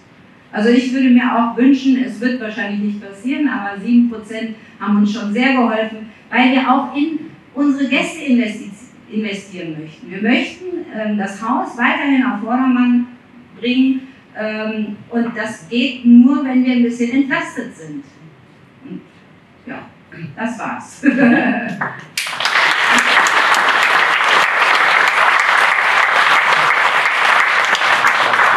Frau Kalitschek wollte weitere Beispiele. Guten Abend, hallo zusammen. Ja, darf äh, Stefan Schieder aus dem Haus Jammertal. Ähm, ich vertrete das andere, das andere Hotel hier. Ähm, ja, ich sehe hier viele Kollegen und ähm, vielen Dank, dass Sie sich die Zeit dafür nehmen heute und auch für die Veranstaltung hier, möchte ich einmal sagen, wirklich äh, finde ich sehr gut für die Plattform. Ähm, ja, bei uns ist es ähnlich. Also wir haben natürlich, klar, wir haben die Preise erhöht, wir werden sie auch nochmal erhöhen müssen, ähm, weil einfach das Gesamtkonstrukt, bei uns ist es so, wir haben einen sehr großen Betrieb, ja, wir haben fast 300 Mitarbeiter, die müssen alle bezahlt werden, jeder der Mitarbeiter weiß, was das am Ende des Monats bedeutet. Und ähm, Personalkosten in einem Betrieb von rund 40 Prozent ist heute keine Seltenheit mehr, also 40 Prozent vom Umsatz. So, das ist nicht mehr selten. Und ähm, bei uns ist es so, wir sind jetzt gerade in der Betriebsübergabe. Das bedeutet, ich übernehme den Betrieb der Eltern. Das habe ich mir sehr, sehr gut überlegt. Obwohl ich den Beruf gelernt habe, ich bin gelernter Koch und Hotelfachmann und habe auch noch Betriebswirtschaft studiert und das hätte ich vielleicht nicht machen sollen, weil ich nicht so lange bin. Ja, ähm, ja, ist ja so. Also jetzt mal ganz ehrlich, wie viele, wie viele Kollegen sind in einem Alter, wo sie sagen, ich kann nicht mehr, ich, ich, ich schaffe es nicht mehr. Ich schaffe den Bürokratie-Wahnsinn nicht mehr. Ich schaffe es nicht mehr, jeden Tag morgens um, um, um 10 Uhr in der Küche oder am Tresen zu stehen. Ich schaffe es einfach nicht mehr, 12 bis 15 Stunden zu arbeiten für die Hochzeiten und sonst irgendwas in der Saison. Das ist doch Wahnsinn. Also ich meine, jetzt, ich habe das alles gehört. Ich stimme wirklich jedem Kollegen hier aus vollem Herzen zu. Aber jetzt mal unter uns. Wir sind ja unter uns. Wo sind wir denn hier gelandet? Also jetzt mal ernsthaft, was ist das? Das ist doch ein Wahnsinn. Ja, Mindestlohn ist ein Thema. Der Mindestlohn ist erhöht worden, ohne dass einer gefragt wurde. Wir haben lediglich das Ergebnis mitgeteilt bekommen. Hier, bitteschön. Das zahlst du jetzt deine Mitarbeiter. Und was die Investitionsrückstellung angeht, wenn die Steuern und die Gesamtbelastung der Gastronomie nicht gesenkt werden, dann wird ein Gastronomiesterben einsetzen und zwar nicht, weil die Steuern erhöht wurden. Nein, sondern weil niemand mehr in der Lage ist, Rücklagen zu bilden. Und die Attraktivität für die nachfolgende Generation sinkt rapide. Keiner macht das mehr. Warum sollte ich das, also warum sollte jemand, der bei klarem Verstand ist, ja, ein Restaurant übernehmen, was mittelgut läuft? Das wird er nicht machen. Das kann er nur machen, wenn er aus vollem Herzen in der Familie der Gastronomie zu Hause ist. Und genau aus dem Grund mache ich das auch. Ja? Ich mache das, weil ich das gerne mache und weil ich auch nichts anderes kann. Aber ich mache das, weil ich das wirklich, wirklich gerne mache. Ich habe gerne Gäste. Und ich würde mich gerne um meine Gäste kümmern. Ich habe keine Lust, mir ständig anhören zu müssen. Ah, Entschuldigung, ähm, Legionell müssten wir nochmal prüfen. Ja, das wäre schon ganz gut. Und wenn wir gerade schon mal dabei sind, äh, die Bierleitung, ne, das wäre auch mal ganz gut, wenn wir nochmal drüber gucken könnten. Und ähm, haben sie übrigens auch alle HCCP-Kontrollen-Listen äh, fertig gemacht und die Kühlhauslisten würde ich auch gerne nochmal sehen. Ganz ehrlich. Also der Küchenchef heute, das was der braucht, ist ein abgeschlossenes Hygienestudium, Betriebswirtschaftsstudium und ein Personalmanagementkurs, der mindestens sechs Semester geht. Und das meine ich wirklich bitter ernst. Also Mitarbeiter, die in der Gastronomie ankommen, das meine ich jetzt nicht böse, ne? aber jeder von uns kennt die. Jeder von uns kennt den Mitarbeiter, der ankommt und sagt, ja, ich habe mal was anderes gemacht, aber ja gut, okay. Eine Scheidung durch, einen Entzug durch, was weiß ich was. Aber die landen bei uns. Und das sind gute Mitarbeiter. Ich habe die gerne bei mir. Ehrlich. Und ich schätze jeden Einzelnen. Aber du musst dir wirklich manchmal überlegen, kann ich den noch einstellen? Schaffe ich das? Ja? Oder sage ich lieber, weißt du was, ich mache 100 Gäste weniger. Bei uns war es so, nach Corona haben wir uns aufgrund des Personalmangels dazu entschlossen, keine große Veranstaltung zu machen. Wir nicht. Ich habe konsequent an den hohen Feiertagen, Ostern, Weihnachten, Silvester, ich nehme nur noch die Hälfte an Gästen weil ich es nicht mehr stellen kann. Ich habe das Personal nicht. Und ich muss das Personal, was da ist, schützen. Ja, das, ist, das, hört sich jetzt das hört sich komisch an. Ja? Also gerade jemand, der, der, wie wir das gelernt hat, ja? der von seinem Küchenchef bis auf die letzte Kommastelle seiner, seiner Familie beleidigt wurde mal irgendwann. Ja? Ähm, der redet jetzt davon, dass er sein Personal schützt. Aber das ist so. Du musst das machen. Wenn du das nicht machst, gehen die. Und wenn du die Wahl hast zwischen Gästen und Mitarbeitern, entscheidest du dich für die Mitarbeiter. Das ist so. Du kannst lieber auf zehn Gäste verzichten als auf einen Mitarbeiter. Und da sind wir angekommen. Und das ist das, was Sie, ähm, was Sie gerade sagten. Die Schere geht auseinander. Die geht unter uns auseinander. Ja? Der kleine, sage ich jetzt mal, der, der, der Kollege, der ein Restaurant hat, wo ich gerne essen gehe. Ja? Natürlich, klar, Sie haben gerade davon gesprochen, dass es darum geht, auch Mitarbeiter aus anderen Ländern zu uns zu holen und die hier, sage ich jetzt mal, zu integrieren und so weiter. Ja, aber haben Sie mal den bürokratischen Aufwand durchgetanzt, der da, der da auf Sie zukommt? Das, das machst du nicht das ist der Wahnsinn. Bevor der Mitarbeiter überhaupt einreisen darf, kommt drauf an, aus welchem Land er ist. Wir reden übrigens auch von der Türkei. Muss der einen, einen Arbeitsvertrag haben, einen unterschriebenen Arbeitsvertrag, sonst darf der gar nicht anfangen. Der darf gar nicht anreisen. Das, da redet keiner drüber. Aber wir alle kennen das. Wir dealen damit jeden Tag. Und das würde ich mir wünschen, dass das einfach mal so in die breite Masse getragen wird. In der breiten Masse der Bevölkerung ist es so, dass der Gastronom, ja, der, sage ich jetzt mal, gut gekleidet seine Gäste empfängt, ja, das ist richtig, der, der empfängt seine Gäste. Aber das ist jetzt nicht der, der, sage ich jetzt mal, in seinem, äh, in seinem Rolls-Royce nach Hause fährt. Nein, das ist das nicht. Der knechtet jeden Tag. Das ist so. Und die Verantwortung, die der hat, die ist auch nicht wenig. Das darf man nicht vergessen. Du hast die Verantwortung für die Familien deiner Mitarbeiter. So, und das kommt nicht. Das kommt, also habe ich in den letzten zehn Jahren, seitdem ich ein bisschen klar denken kann, nicht einmal gehört. Oder haben Sie das gehört? Ich, habe nichts gehört.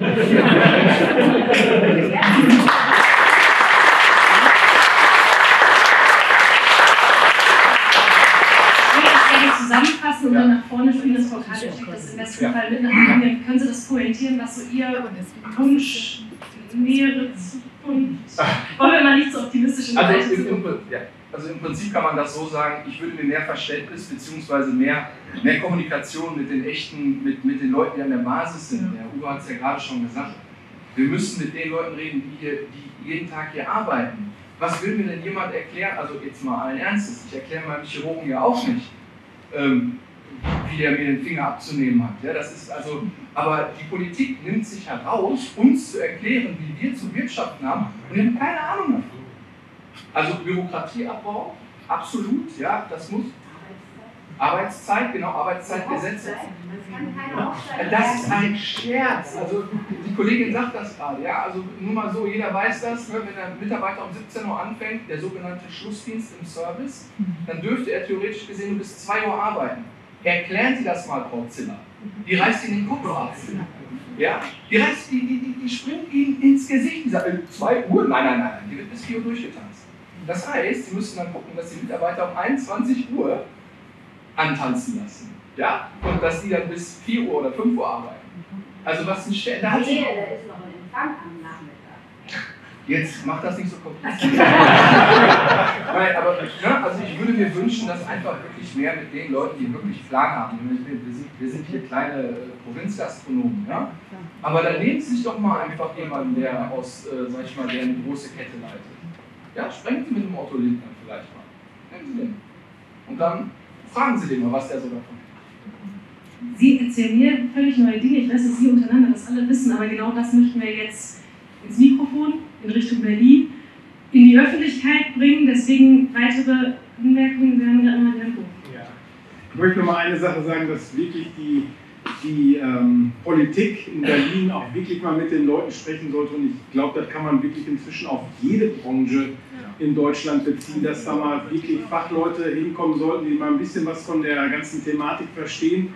Ich äh, denke gerne dann an die Zeit von Corona zurück, wo man uns erklären wollte, wie die Gläser gespült werden sollen ähm, und was gemacht werden sollte. Jeder Gastronom, der hier ist, weiß, dass wir alle eine Spülmaschine haben, die sowieso mit 86 Grad äh, die Gläser überschwänzt wird, dann so schön heiß, dass sie also keimfrei sind. Aber da wusste man in Berlin einfach gar nichts von und hat uns, wer weiß, was für tolle Hürden aufgelegt, was wir alles machen sollen. Und wir haben eigentlich haben wir darüber geschmunzelt, weil es äh, eine absolute Selbstverständlichkeit ist. Wir reden ja nicht davon, dass hier ähm, Leute sind, die auf dem äh, Schützenfest sind und wo mal irgendwelche 16-Jährigen das Bierglas mal einfach durch kalte Wasser ziehen. Und ähm, da hat man wieder absolut gemerkt, die haben einfach überhaupt keine Ahnung von dem, wo sie da reden und was sie uns dann auch noch auftritt. Das wollte ich nur sagen.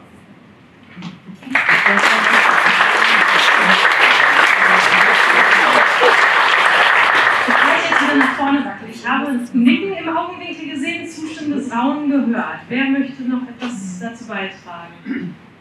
Sie werden von hinten angezeigt gerade. Ich, Sie haben aber offensichtlich gerade irgendwie reagiert. Ja, genau. Ja, hallo, mein Name ist Nina Pawlowski, ich komme aus dem Ortsverband Habilhorst, ähm, bin Handwerkerin, aber ich spreche jetzt gerne mal für die kleinen Cafés, für die ganz kleinen Gastronomen, so wie ich gerade an die Anja anfange. Also die Anja hat ein kleines Café in unserem Ortsteil und dieses kleine Café, Inhaber geführt, selbstständig, ist, was Sie vorhin schon sagten, das ist so die Seele des Stadtteils. Und in diesem kleinen Café gerade jetzt mal im Gegensatz zu den ganzen großen Gastronomen, die ja auch ihre großen Volumen haben, möchte ich da einfach mal ähm, ein bisschen was zu erzählen. Dieses kleine Café, da treffen sich jeden Morgen eine ganze Gruppe von Senioren. Alles alleinstehende Senioren, die da morgens ihre ein bis zwei Tassen Kaffee trinken, vielleicht auch mal ein halbes Brötchen, die da schnacken. Ich nenne das immer liebevoll, das ist betreutes Kaffee trinken, was die da morgens machen. Aber was da an Herzblut ist, und so wird es auch sein in vielen äh, ländlichen Bereichen, wo dann die kleine Eckkneipe noch ist. Wir haben gerade über Henrichenburg gesprochen, da gibt es keine Kneipe mehr. Also gerade diese Sachen, da ist so viel gesellschaftliches Potenzial und so viel Herzblut und so viel Wichtigkeit drin. Und gerade diese älteren Leute, die da morgens zum Beispiel in dem Café sitzen, da wird es dann spannend, ob der Kaffee jetzt 2,50 Euro kostet oder ob der Kaffee 3 Euro kostet. Ähm, da sprechen wir nicht mehr davon, ob das jetzt die große Hochzeit oder das große Essen gehen ist, sondern diese 50 Cent am Tag bedeutet dann für eine ältere Dame halt nicht mehr morgens rausgehen zu können. Das bedeutet aber auch gleichzeitig, dass wenn morgens zum Beispiel bei der Anja Frau Males nicht kommt, dann ruft die da an und guckt, ob die alleinstehende Dame in Ordnung ist. Und diese Seele, die solche Gastronomiebetriebe haben, die muss man einfach auch erhalten. Und wenn das dann wirklich am Geld jetzt hängt und an vielen anderen Bereichen oder auch genauso auch mit der ähm, mit, mit, mit, Mindestlohn, dass man sich zum Beispiel keine, ähm, keine Aushilfe leisten kann. Gerade in diesen kleinen Bereichen, die müssen ganz doll unterstützt werden. Und für diese Betriebe würde ich heute gerne sprechen, obwohl ich aus dem Handwerk komme und wir da ganz andere Probleme haben. Dankeschön.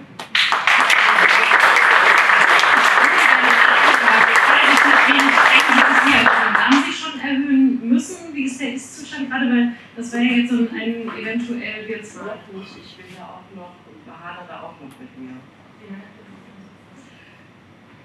Das weiß ich, weiß ich wirklich nicht. Also, das ist für mich total ungewiss.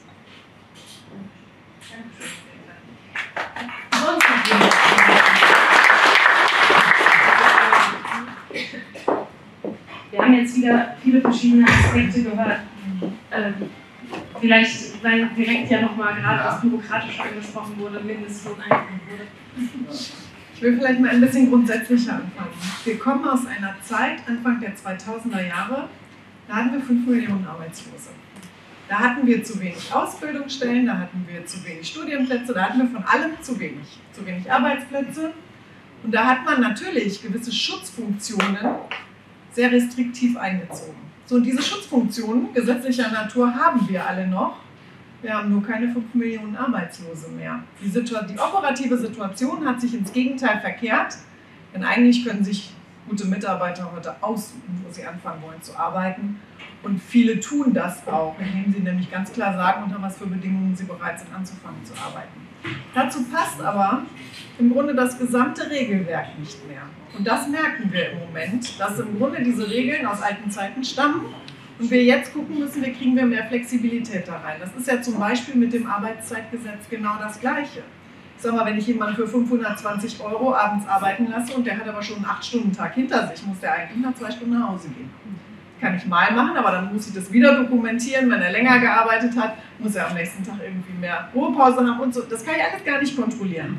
Und da sieht man halt, dass wir uns wirklich mal überlegen müssen, wenn sich operativ alles verändert hat, dann muss ich halt die Gesetze auch anpassen.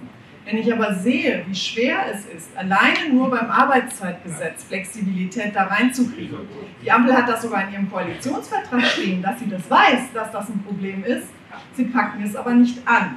Und jetzt habe ich gerade heute, ist bei mir durchgelaufen als Vorsitzende der Arbeitsgruppe Tourismus, dass wir jetzt einen Antrag dazu schreiben wollen, ganz gezielt mit dem Ziel, der Ampel nochmal zu sagen, Leute, ihr habt das im Koalitionsvertrag stehen, jetzt setzt das doch endlich mal um, dass es mehr Flexibilisierung beim Arbeitszeitgesetz gibt und näher sich angelehnt wird an die europäischen Möglichkeiten. Das ist nur ein Ding, was ich an dieser Stelle mal beschreiben will, aber das ist halt ein sehr mühsamer Prozess, weil, und das ist ja auch rausgekommen, die Ebene, die die Gesetze schreibt, die im Grunde diese Vorarbeiten denkt, das ist Verwaltung. Und die hängen mit der ganzen Diskussion noch Jahre hinterher. Die sind im Hier und Jetzt noch nicht angekommen. Das ist bei politischen Diskussionen übrigens oft so, dass wir Dinge diskutieren, die aber im Grunde sich schon völlig verändert haben, wir aber in der Diskussion im politischen Berlin immer noch ein paar Jahre zurückhängen. Und das merken wir gerade sehr, sehr stark.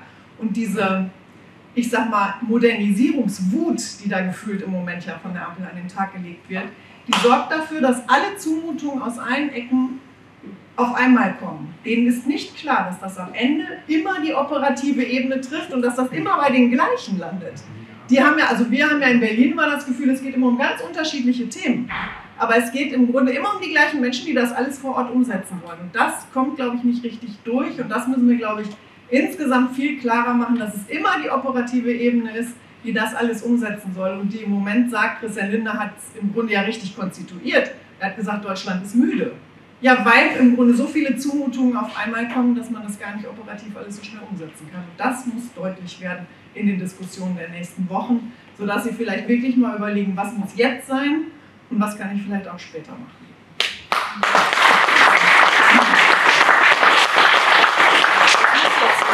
Absolut. Erstmal schön, dass Sie alle noch zuhören. Es äh, dauerte doch länger, als wir geplant haben, aber das ist auch gut so. Ähm, ein Thema, was mich da umtreibt, hatten wir gerade kurz mal das Thema, wir finden all die Themen, die Stefan Schnieder, Susanne Großmann, Vladimir Pasteur und Sie gesagt haben, wir finden bei den Medien kein Gehör. Heute geht es um Klicks, um Online-Artikel. Ja? Von mir wird immer ein Bild gebracht, wo hinterher eine Lampe umgekippt ist. Das bringen die immer wieder, weil die immer sagen, da sind am meisten Klicks drauf. Also völlig bescheuert. Ich habe gesagt, ich will das jetzt mal konfizieren, das Bild. Warum? Weil die Medien auch immer mehr zum Boulevardjournalismus verkommen, auch unsere regionalen Medien hier. Ja? Schlagzeilen, irgendwelche Headlines, Entschuldigung, Sie gehören auch zu, dem, äh, zu der Sekte Lensing Wolf. Und äh, äh, Schlagzeilen sind wichtig, Überschriften sind wichtig. Der Inhalt, der interessiert oft gar nicht mehr. Das ist leider so. Ne? Pro Klick gibt es Geld. Deswegen, wir können unsere Botschaften gar nicht platzieren, die werden nicht gehört. Äh, wenn ich zu irgendetwas interviewt werde, hier im Kreis oder auch während Corona, dann schreiben die das raus, was die toll finden.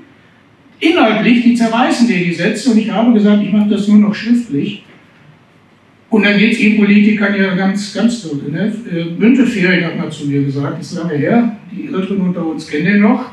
Sagt er, wissen Sie, das ist toll, ich habe jetzt ein Fax im Auto und Telefon. Da ruft mich irgendein Journalist an, will was wissen und ich sage, aber wir haben gerade keinen Empfang, ich melde mich gleich. Schick mir das nur mal per Fax, dann kann ich mir das in Ruhe durchlesen, stimme mich ab mit meinem Büro und dann kriegen die eine Antwort. Weil so schnell kannst du gar nicht antworten. Und da gab es aber kein Handy, da gab es ein Autotelefon. Das ist ja das Problem. Also wir finden in den Medien nicht statt, das ist schade. Ähm, ein Kollege hat gerade gesagt, äh, was ist HACCP? Das sollten wir erklären, nur ganz kurz, ist ein Hygienekonzept in unserer Branche. Kommt die Ware an, muss die Temperatur gemessen werden. In den Kühlschubladen, in den Kühlhäusern müssen die ständig dokumentiert und gemessen werden. Es gibt mittlerweile, Gott sei Dank, auch digital. Äh, welche, welche Fläche wird mit welchen Platten, mit welcher Chemie gereinigt? Ähm, es ist ein sehr, sehr aufwendiges. Eigentlich brauchen Sie dafür einen Mitarbeiter, der sich nur um HCCP und Schulungen äh, kümmert. Die Mitarbeiter müssen regelmäßig geschult sein sehr, sehr aufwendig und die Listen müssen durchgängig äh, geführt sein. Also nicht nur einer am Tag. Und dann kommt der Kontrolleur und dann haben sie an zwei Tagen, weil drei Leute krank wurden, viel zu tun war, die Listen nicht sauber gepflegt, da gibt es dann auf dem Deckel. Da gibt es dann, äh, wie, wie beim Führerschein, Punkte für. Ja, Bürokratie hatten wir auch, Integration von Mitarbeitern, echt schwer. Äh, wieder ein kurzes Beispiel aus der Praxis. Ich habe ein ukrainisches Ehepaar. Die haben in Kiew eine, ein, ein Gastronomiehandel gehabt, äh, Verpackungsmaterialien. Du weißt, von wem ich rede. Die können bei uns Vollzeit arbeiten. Wir haben so viel Arbeit im, im, Italien, im italienischen Konzept. Die sind jetzt, glaube ich, seit einem Dreivierteljahr da auf Minijob-Basis, möchten gerne mehr, dürfen aber nicht mehr, weil sie den Kurs A2 noch nicht haben. Und die müssen erst auf den Sprachkurs warten, bevor sie arbeiten dürfen. Das ist sowas von bekloppt. Das, das ist nicht normal und das erleben wir jeden Tag. Also die, die arbeiten wollen, kriegen wir nicht an Arbeit. Und die 5 Millionen Arbeitslose, das sind ja, wenn wir richtig zählen, das hat die Vorgängerregierung, das Hellwerk eingeführt, sind es, glaube ich, 8,5 Millionen, die zu Hause sitzen, keine Arbeit haben. Und davon haben 7 Millionen Rücken. Da müssen wir dran. Also das Thema Bürgergeld, wie kriegen wir die Leute an die Arbeit, die nicht wollen, aber können, gibt es ja. Dann haben wir alle gar kein Problem mehr, nicht nur in unserer Branche, auch das Handwerk, vorne steht ein Handwerker, Elektrohandwerk, wir finden alle keine Leute, das ist irre. Und 8 Millionen kriegen irgendwie Kohle von mir. Ich will da nicht polarisieren, das ist aber ein Riesenthema, was wir schnell anpacken müssen. Weil die Leute sind auf der Straße, alle. Die Richtigen und die Falschen, müssen im Griff kriegen. Sie mal, Frau Karliczek, ich dachte, Sie kriegen Hausaufgaben mit, das hat Herr Sobald mir auch noch Hausaufgaben mitgegeben. Ich Oder möchte, ja, ja, ja, wir können da gleich nochmal drüber reden. Ähm, ich möchte aber gerne nochmal das Wort gerne an Sie spielen mit Hausaufgaben nach Berlin und von mir aus nehme ich das auch nochmal mit in die Redaktion. Ich nehme mich da ja gar nicht mit aus, was Sie gerade hier, ich sehe zwei Finger. Ich muss noch einmal da durchschauen. Dürfen wir bei Ihnen die Kamera aussetzen? Ich bin Herr Mündler, ich komme von Haus Raab und wir treten auf die Stadtteil Nappe. Bis jetzt haben die Kollegen eigentlich alles gesagt, und, äh, was Bürokratie betrifft. Und äh, ja, Kollege Schnieder hat gesagt, wenn wir auch äh, Mitarbeiter aus dem Ausland haben möchten. Es gibt ja ein paar gute Gesetze, die die Regierung gemacht hat, aber Praxis funktioniert gar nicht. Aktuell, es gibt eine wunderbare Westbalkan-Regelung, einige, einige, einige kennen das. Mitarbeiter, man kann die anwerben im Ausland, die dürfen nach Deutschland kommen, bis zu fünf Jahre arbeiten. Die ersten fünf Jahre dürfen die keine Sozialleistung beziehen. Das heißt, man kriegt einfach Leute, die arbeiten möchten, die das, das Sozialstaat hier ausüben. Wunderbar für Staat. Wir kriegen Leute, die arbeiten möchten und wir können die Mitarbeiter auch nicht ausnutzen, weil die dürfen auch Arbeitgeber wechseln und im Prinzip alles Win-Win-Win. Was passiert? Die Mitarbeiter müssen einen Vertrag vorlegen bei den jeweiligen Botschaften. Westbalkans, Montenegro, Serbien, Bosnien und so weiter die kriegen keinen Termin bei den Botschaften. Weil man muss sie registrieren am Anfang des Monats und dann geht es nach Berlin und dann gibt es ein computergesteuertes Losverfahren. Wer Termin bekommen wir nicht.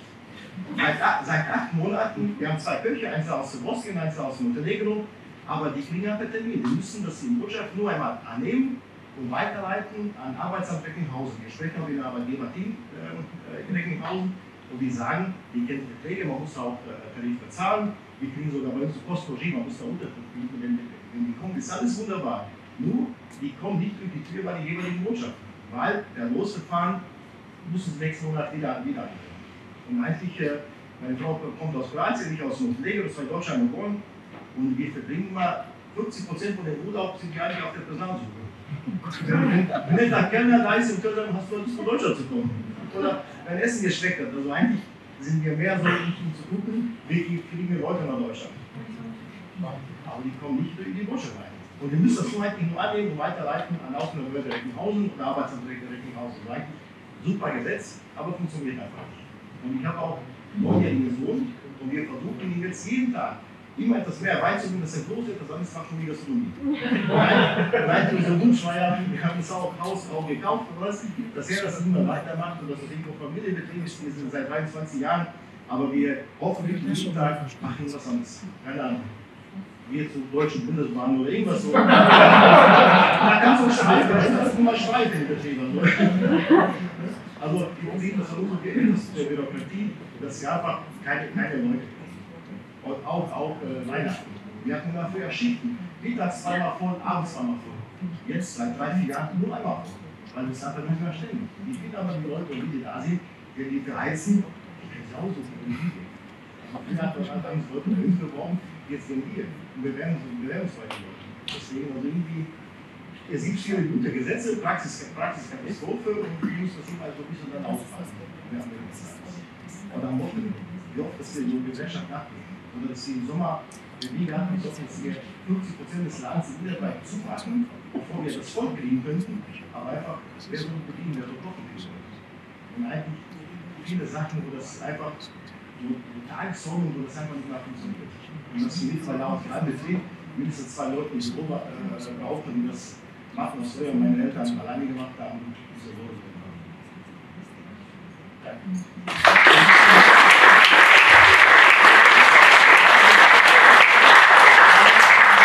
Sich jemand noch anschließen einem Statement, der noch nichts gesagt hat, aber ganz viele Gedanken mit Sicherheit hat. Ansonsten nehme ich das mit der Bundesbahn auf jeden Fall mit. Ich habe gehört, die haben ab Mittwoch schon wieder verlängertes Wochenende. Ja. Ganz kurz nochmal ergänzen zu Kollegen. Wir warten momentan auf Rückmeldungen seit vier Monaten von den Behörden. Mitarbeiter aus Bangladesch, Türkei, Usbekistan, und die haben immer noch keine Rückmeldung. Also die sitzen da, wir bezahlen die Flüge, wir haben Unterkunft schon organisiert. Das sind teilweise Verwandte von aktuellen Mitarbeitern oder auf Empfehlung oder teilweise über Agenturen, das muss man sich mal vorstellen. Wir kommen zu keinem Ergebnis, weil entweder ist die Nummer besetzt oder keine E-Mail-Antworten. Also das Thema Behörden auf Botschaftsebene oder den Sachbearbeitungsebenen, die für solche Auslandsvermittlungen zuständig sind. Vier Fälle konkret. Keine Rückmeldung seit vier Monaten.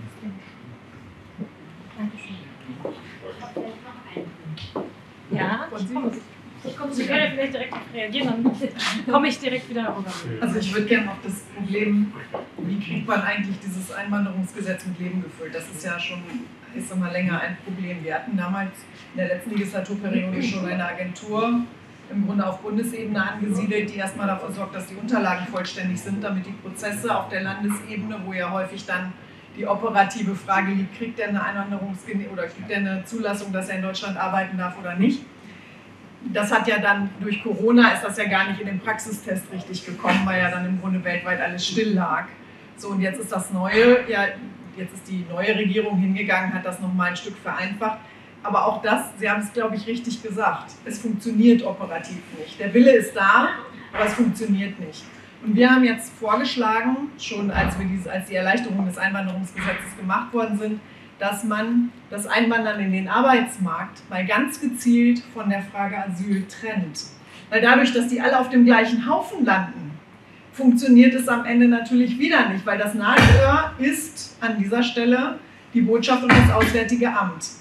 Wir haben in der letzten Legislaturperiode schon, und ich erinnere mich daran gut, weil nämlich der Heiko Maas damals im Kabinett gesagt hat, das ist das erste Mal, dass das, äh, dass das Auswärtige Amt eine Agentur kriegt, also quasi so eine hundertprozentige Tochter, die im Grunde die Arbeit des Auswärtigen Amtes unterstützen soll, die in Brandenburg angesiedelt worden sind, nur zu der Frage, wie können wir eigentlich diese Genehmigungsprozesse, die halt auf der, im AA liegen, beschleunigen und unterstützen. Das Interessante ist, bis heute sitzen da immer noch nicht genügend Mitarbeiter, um da Bewegung reinzukriegen.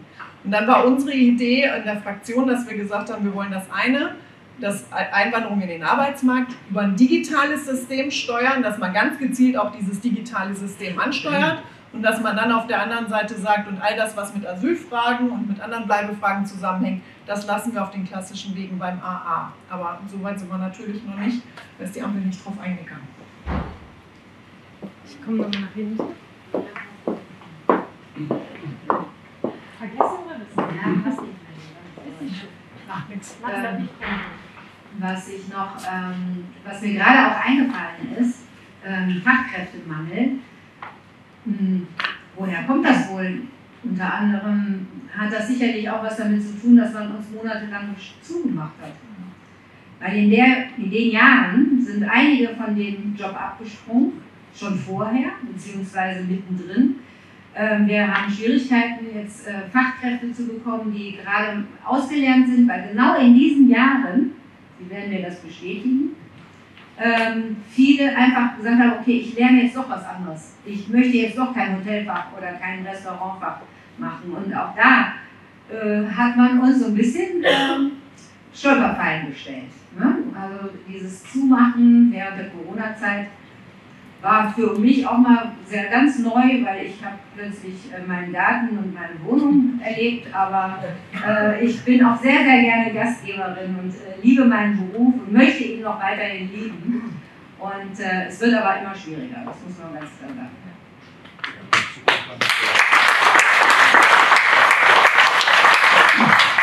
Wenn wir jetzt bei der Corona-Zeit sind, dazu kommt dann natürlich auch noch, man hat die Mitarbeiter in Kurzarbeit geschickt.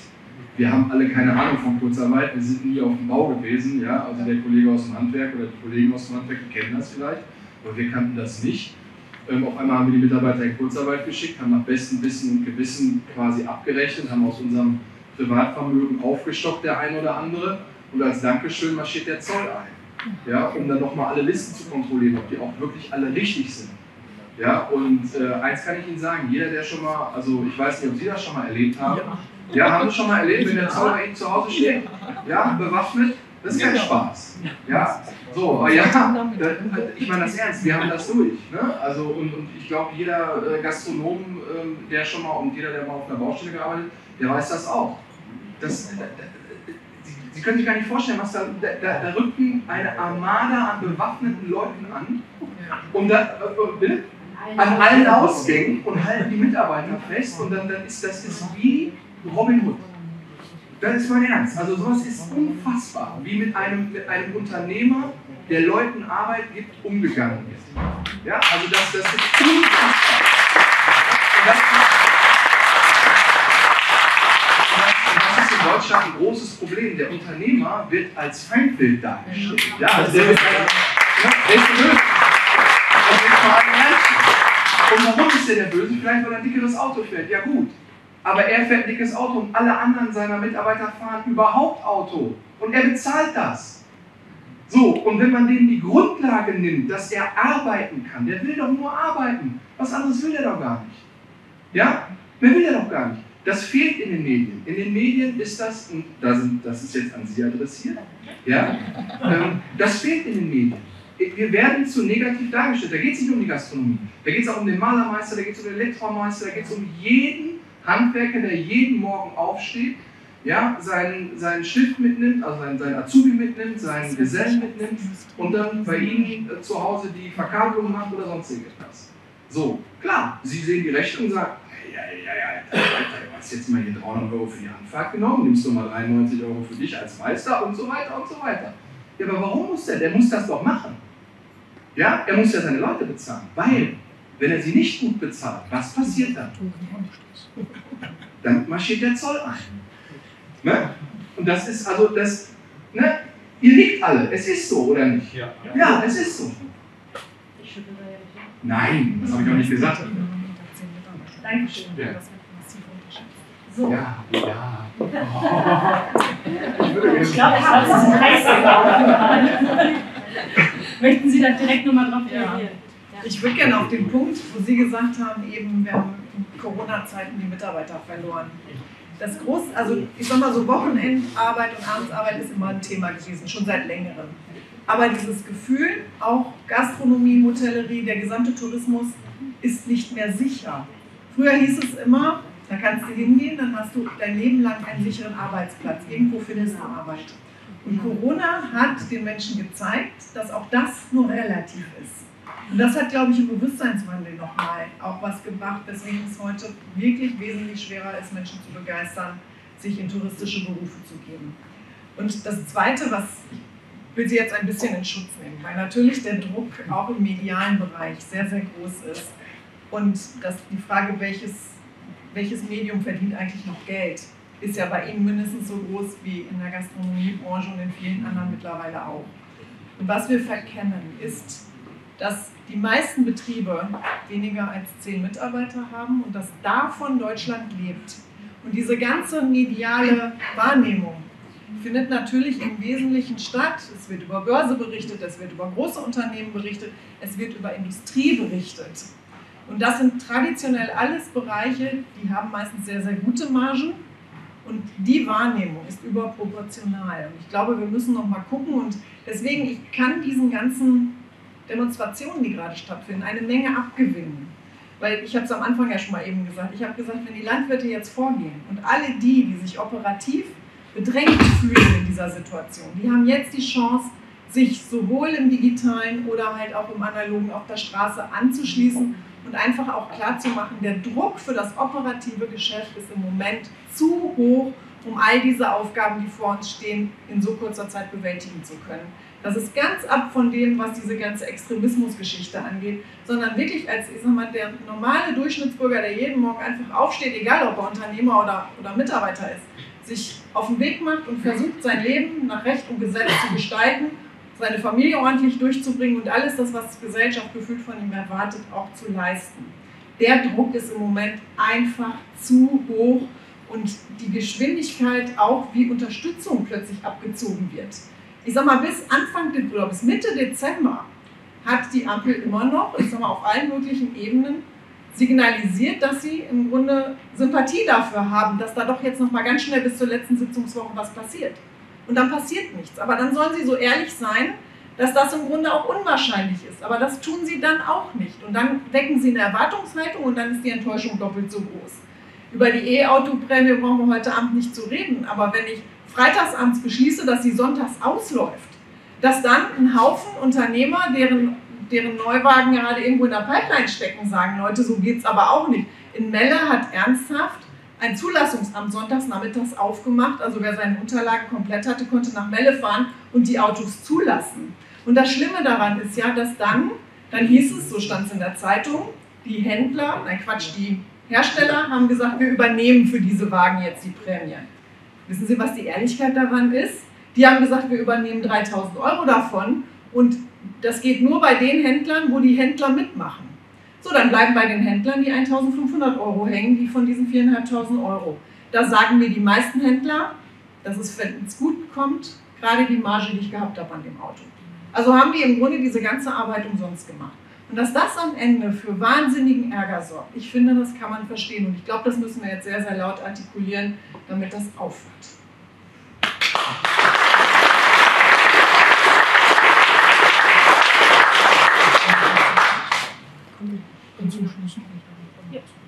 Ja, äh, mehr Dank auch nochmal für die Worte. Ich habe vorhin schon mal gesagt, ich möchte in der heutigen Zeit auch politisch keine Verantwortung tragen. Es ist nicht leicht. Und als diese Regierung jetzt mal überparteilich gedacht äh, dran kam, haben wir auch in unserer Branche gedacht, die Konstellation ist gar nicht so schlecht nach so langer Zeit Merkel-Regierung. Wir haben die SPD, die sich um unsere Mitarbeiter kümmert. Wir haben die Grünen, die sich um das Thema Nachhaltigkeit, Better Food, die ganzen neuen Vegan, vegetarisch, vegan und all diese Themen mitkümmert und Energie. Und wir haben gedacht, wir haben die FDP, die so ein bisschen auf unsere Kohle noch aufpasst. Und, äh, und dass die dann so ein Desaster gerade voll, vollziehen, das ist eine Sache, die ich persönlich gar nicht verstehe. Und das ist auch der Grund, warum ich mit hier stehe. Wir können nur in kleinen Stichen helfen, in kleinen Mückenstichen helfen. Aber es ist keine Verlässlichkeit, das, was ich vorhin schon mal gesagt habe. Wir brauchen Verlässlichkeit. Wenn wir eine Woche vor Ultimo erfahren, es sind jetzt 19 Prozent, natürlich haben wir damit schon gerechnet. Aber deswegen hat noch keiner die Druckerei anlaufen lassen und die neuen Karten bestellt. Dann haben ja alle mal eben so ganz kurz innerhalb von anderthalb Wochen neue Speisekarten machen müssen. Über Silvester die Kassen neu programmieren. Den Dienstleister zu finden, die waren alle im Urlaub, mal eben die Kassen auf Vordermann zu kriegen. All diese Themen, da denkt die Theorie nicht drüber nach. Deswegen sage ich, die müssen uns dazu nehmen. Wir erklären ihnen schon, wo der Hammer hängt und wie das läuft.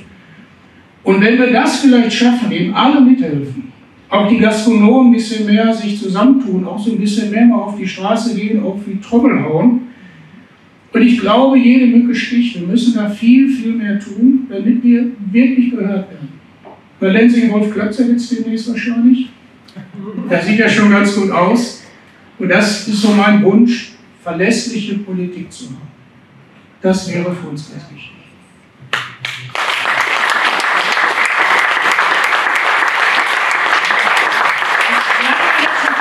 Schlusswort. Ich würde aber gerne noch abschließend auch Frau Karliczek bitten, was Sie jetzt aus dem Abend mitgenommen haben. Ich glaube, das kann man zusammenfassen. Wir sind vom Grundsatz her alle einer Meinung. Vielleicht ist mein Vorteil an der Stelle, dass ich das sehr gut nachvollziehen kann, was hier auch in Beiträgen gekommen ist, weil ich natürlich immer mal wieder mit meinen Brüdern spreche, so oft wie es geht, gehe ich, wenn ich aus Berlin komme, immer mal wieder durchs Hotel, um einfach auch ein Gespür dafür zu behalten, was da los ist. Das ist ja, wenn man, also ich habe damals zum Beispiel, ich bin jetzt zehn Jahre im Deutschen Bundestag und ich habe immer schon damals auch immer gesagt, wenn ich 14 Tage in Berlin bin, also zwei, zwei Sitzungswochen hintereinander, ich habe in Berlin eine ganz andere abstrakte Diskussion, als ich sie natürlich vor Ort habe. Und interessant ist ja, dass man auch, ich sag mal, irgendwie eine andere Sprache dann entwickelt. Weil manchmal, wenn ich meine Sprache von vor Ort mit nach Berlin mitnehme, verstehen die mich gar nicht. Dann wissen die gar nicht, was ich von denen will. Das fand ich also auch im Ministerium damals sehr spannend zu sehen, dass die irgendwie gar nicht reagieren, wenn ich das nicht so formuliere, dass es auch bei denen ankommt. Und da sieht man, wir müssen lernen zu formulieren, wie es die Empfänger richtig gut verstehen. Und ich habe halt die, diese regelmäßige Chance, wenn ich wiederkomme, dann einfach mal wieder ins operative Geschäft einzutauchen, mit den Mitarbeitern zu sprechen, mit meinen Brüdern zu sprechen und dadurch ja immer auch ein gutes Gefühl dafür zu behalten, wie auch über die ganzen Jahre. Und das, so ehrlich finde ich, muss man auch sein, das ist nicht erst seit zwei Jahren der Fall. Der Druck ist schon über die ganzen Jahre gestiegen. Aber jetzt ist so viel Druck im Kessel, dass es einfach nicht mehr geht. Und ich habe damals immer gesagt, eigentlich ist dieses erstmal mit der eigenen Position in einer Koalition rauszugehen und dann den Kompromiss zu verkünden. Man hat uns ja damals vorgeworfen, wir wären jetzt alle sozialdemokratisiert und man wüsste ja nicht mehr, wo wir stehen. Ich habe damals, als die Ampel anfing, genau wie Sie sagen, jeder hat da so seinen Schwerpunkt und ich habe gedacht, wenn die das gut machen, dann schicken die die Union auf ewig erstmal in die Opposition. Weil ich habe auch geglaubt, dass die, wenn die das, ich sag mal, auch mit einem gewissen Spirit da dran gehen, die Modernisierung dieses Landes, ich sag mal, mit einer gewissen Werf schon auch hätten organisieren können. Und dann eben noch diese Frage, gehen wir erstmal mit der eigenen Position raus und verkünden dann den Kompromiss. Wenn das aber auf diese permanenten Streitereien am Ende dann zurückkommt, dann sagen die Leute, was haben wir denn für eine Regierung, jetzt reicht's. Und dass das natürlich in einer Situation, wo die Zumutungen eh hoch sind, dann auch, ich sag mal, noch in einer Schlagzeit kommt, wo alle vier Wochen was Neues dann auch ins Land gejagt wird, das funktioniert halt in dieser Zumutung nicht mehr. Und insofern bin ich froh, dass ich immer recht dicht dran bin. Und deswegen kann ich das sehr, sehr gut verstehen, was Sie jetzt ja auch alles an Beiträgen gebracht haben. Ich werde genau diese Beispiele, die Sie mir heute genannt haben, immer wieder überall, wo ich Gelegenheit dafür habe, auch mit der Ampel diskutieren. Wir haben ja Gott sei Dank gar nicht so, schlechte, so ein schlechtes Miteinander, wie das häufig ich sag mal, wahrgenommen wird. Wir hauen uns auch nicht die Köpfe ein, sondern wir diskutieren, vielleicht manchmal, ich sag mal, ein bisschen übers Ziel hinaus, aber wir diskutieren schon auch sehr gut. Und im Tourismusausschuss gibt es schon auch eine breite Wahrnehmung, dass das ein Problem im Moment ist und dass da auch gefühlt zu viel zusammenbricht, weil alles, was zusammenbricht, kommt nicht wieder. Darüber muss man sich auch im Klaren sein. Und insofern, ich nehme das gerne mit. Ich sage ganz herzlichen Dank, lieber Michael, für die Einladung. Es hat mich sehr gefreut und vielleicht darf ich auch noch mal einmal sagen, dem Michael Breimann höre ich auch im Deutschen Bundestag sehr gerne zu. Gucken Sie sich mal die Reden an, die er hält zu seinen Themen. Sie haben uns einen guten Mitstreiter geschickt, würde ich sagen.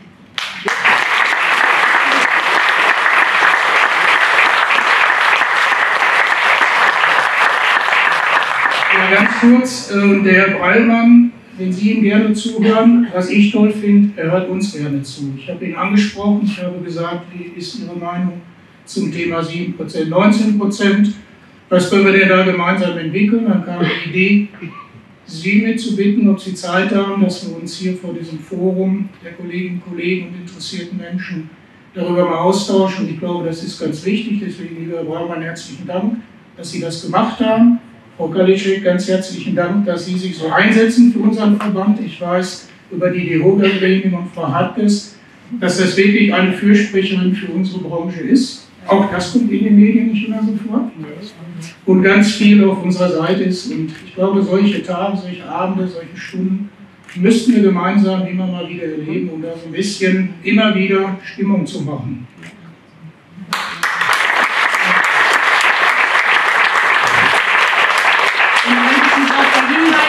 viele Worte. Dankeschön, dass Sie mitgemacht haben und Ihre Eindrücke geschildert haben aus Ihrem Alltag. Und damit übergebe ich Erleben, über die jetzt ganz viel geredet wird. Dankeschön. Ja, vielen Dank. Über mich muss gar nicht so viel geredet werden. Denn, ähm, uns, dem CDU-Kreisverband, war es ganz, ganz wichtig, dass heute die Akteure zu Wort kommen. Und mir war es auch ganz, ganz wichtig, dass wir Fachleute hier in der Diskussion haben. Und ich glaube, liebe Anja, dass du eine Fachfrau bist in dem Thema. Das hast du wirklich bewiesen und vor allem auch Praktikerin. Schön, dass du bei uns warst. Danke. Ähm, ich freue mich, dass die Idee, die wir und so ein bisschen gesprochen haben, dass die, glaube ich, aufgegangen ist. Ähm, mir ist vorhin so eins deutlich geworden. Das ist aber auch in vielen anderen Bereichen so. All diejenigen, die sich heute zu Wort gemeldet haben, die haben eins deutlich gemacht, dass sie ihren Beruf nicht nur lieben, sondern mit Leidenschaft ausüben. mit Leidenschaft ausführen und auch für den Berufsstand kämpfen. Und das ist ein ganz, ganz wichtiges hohes Gut.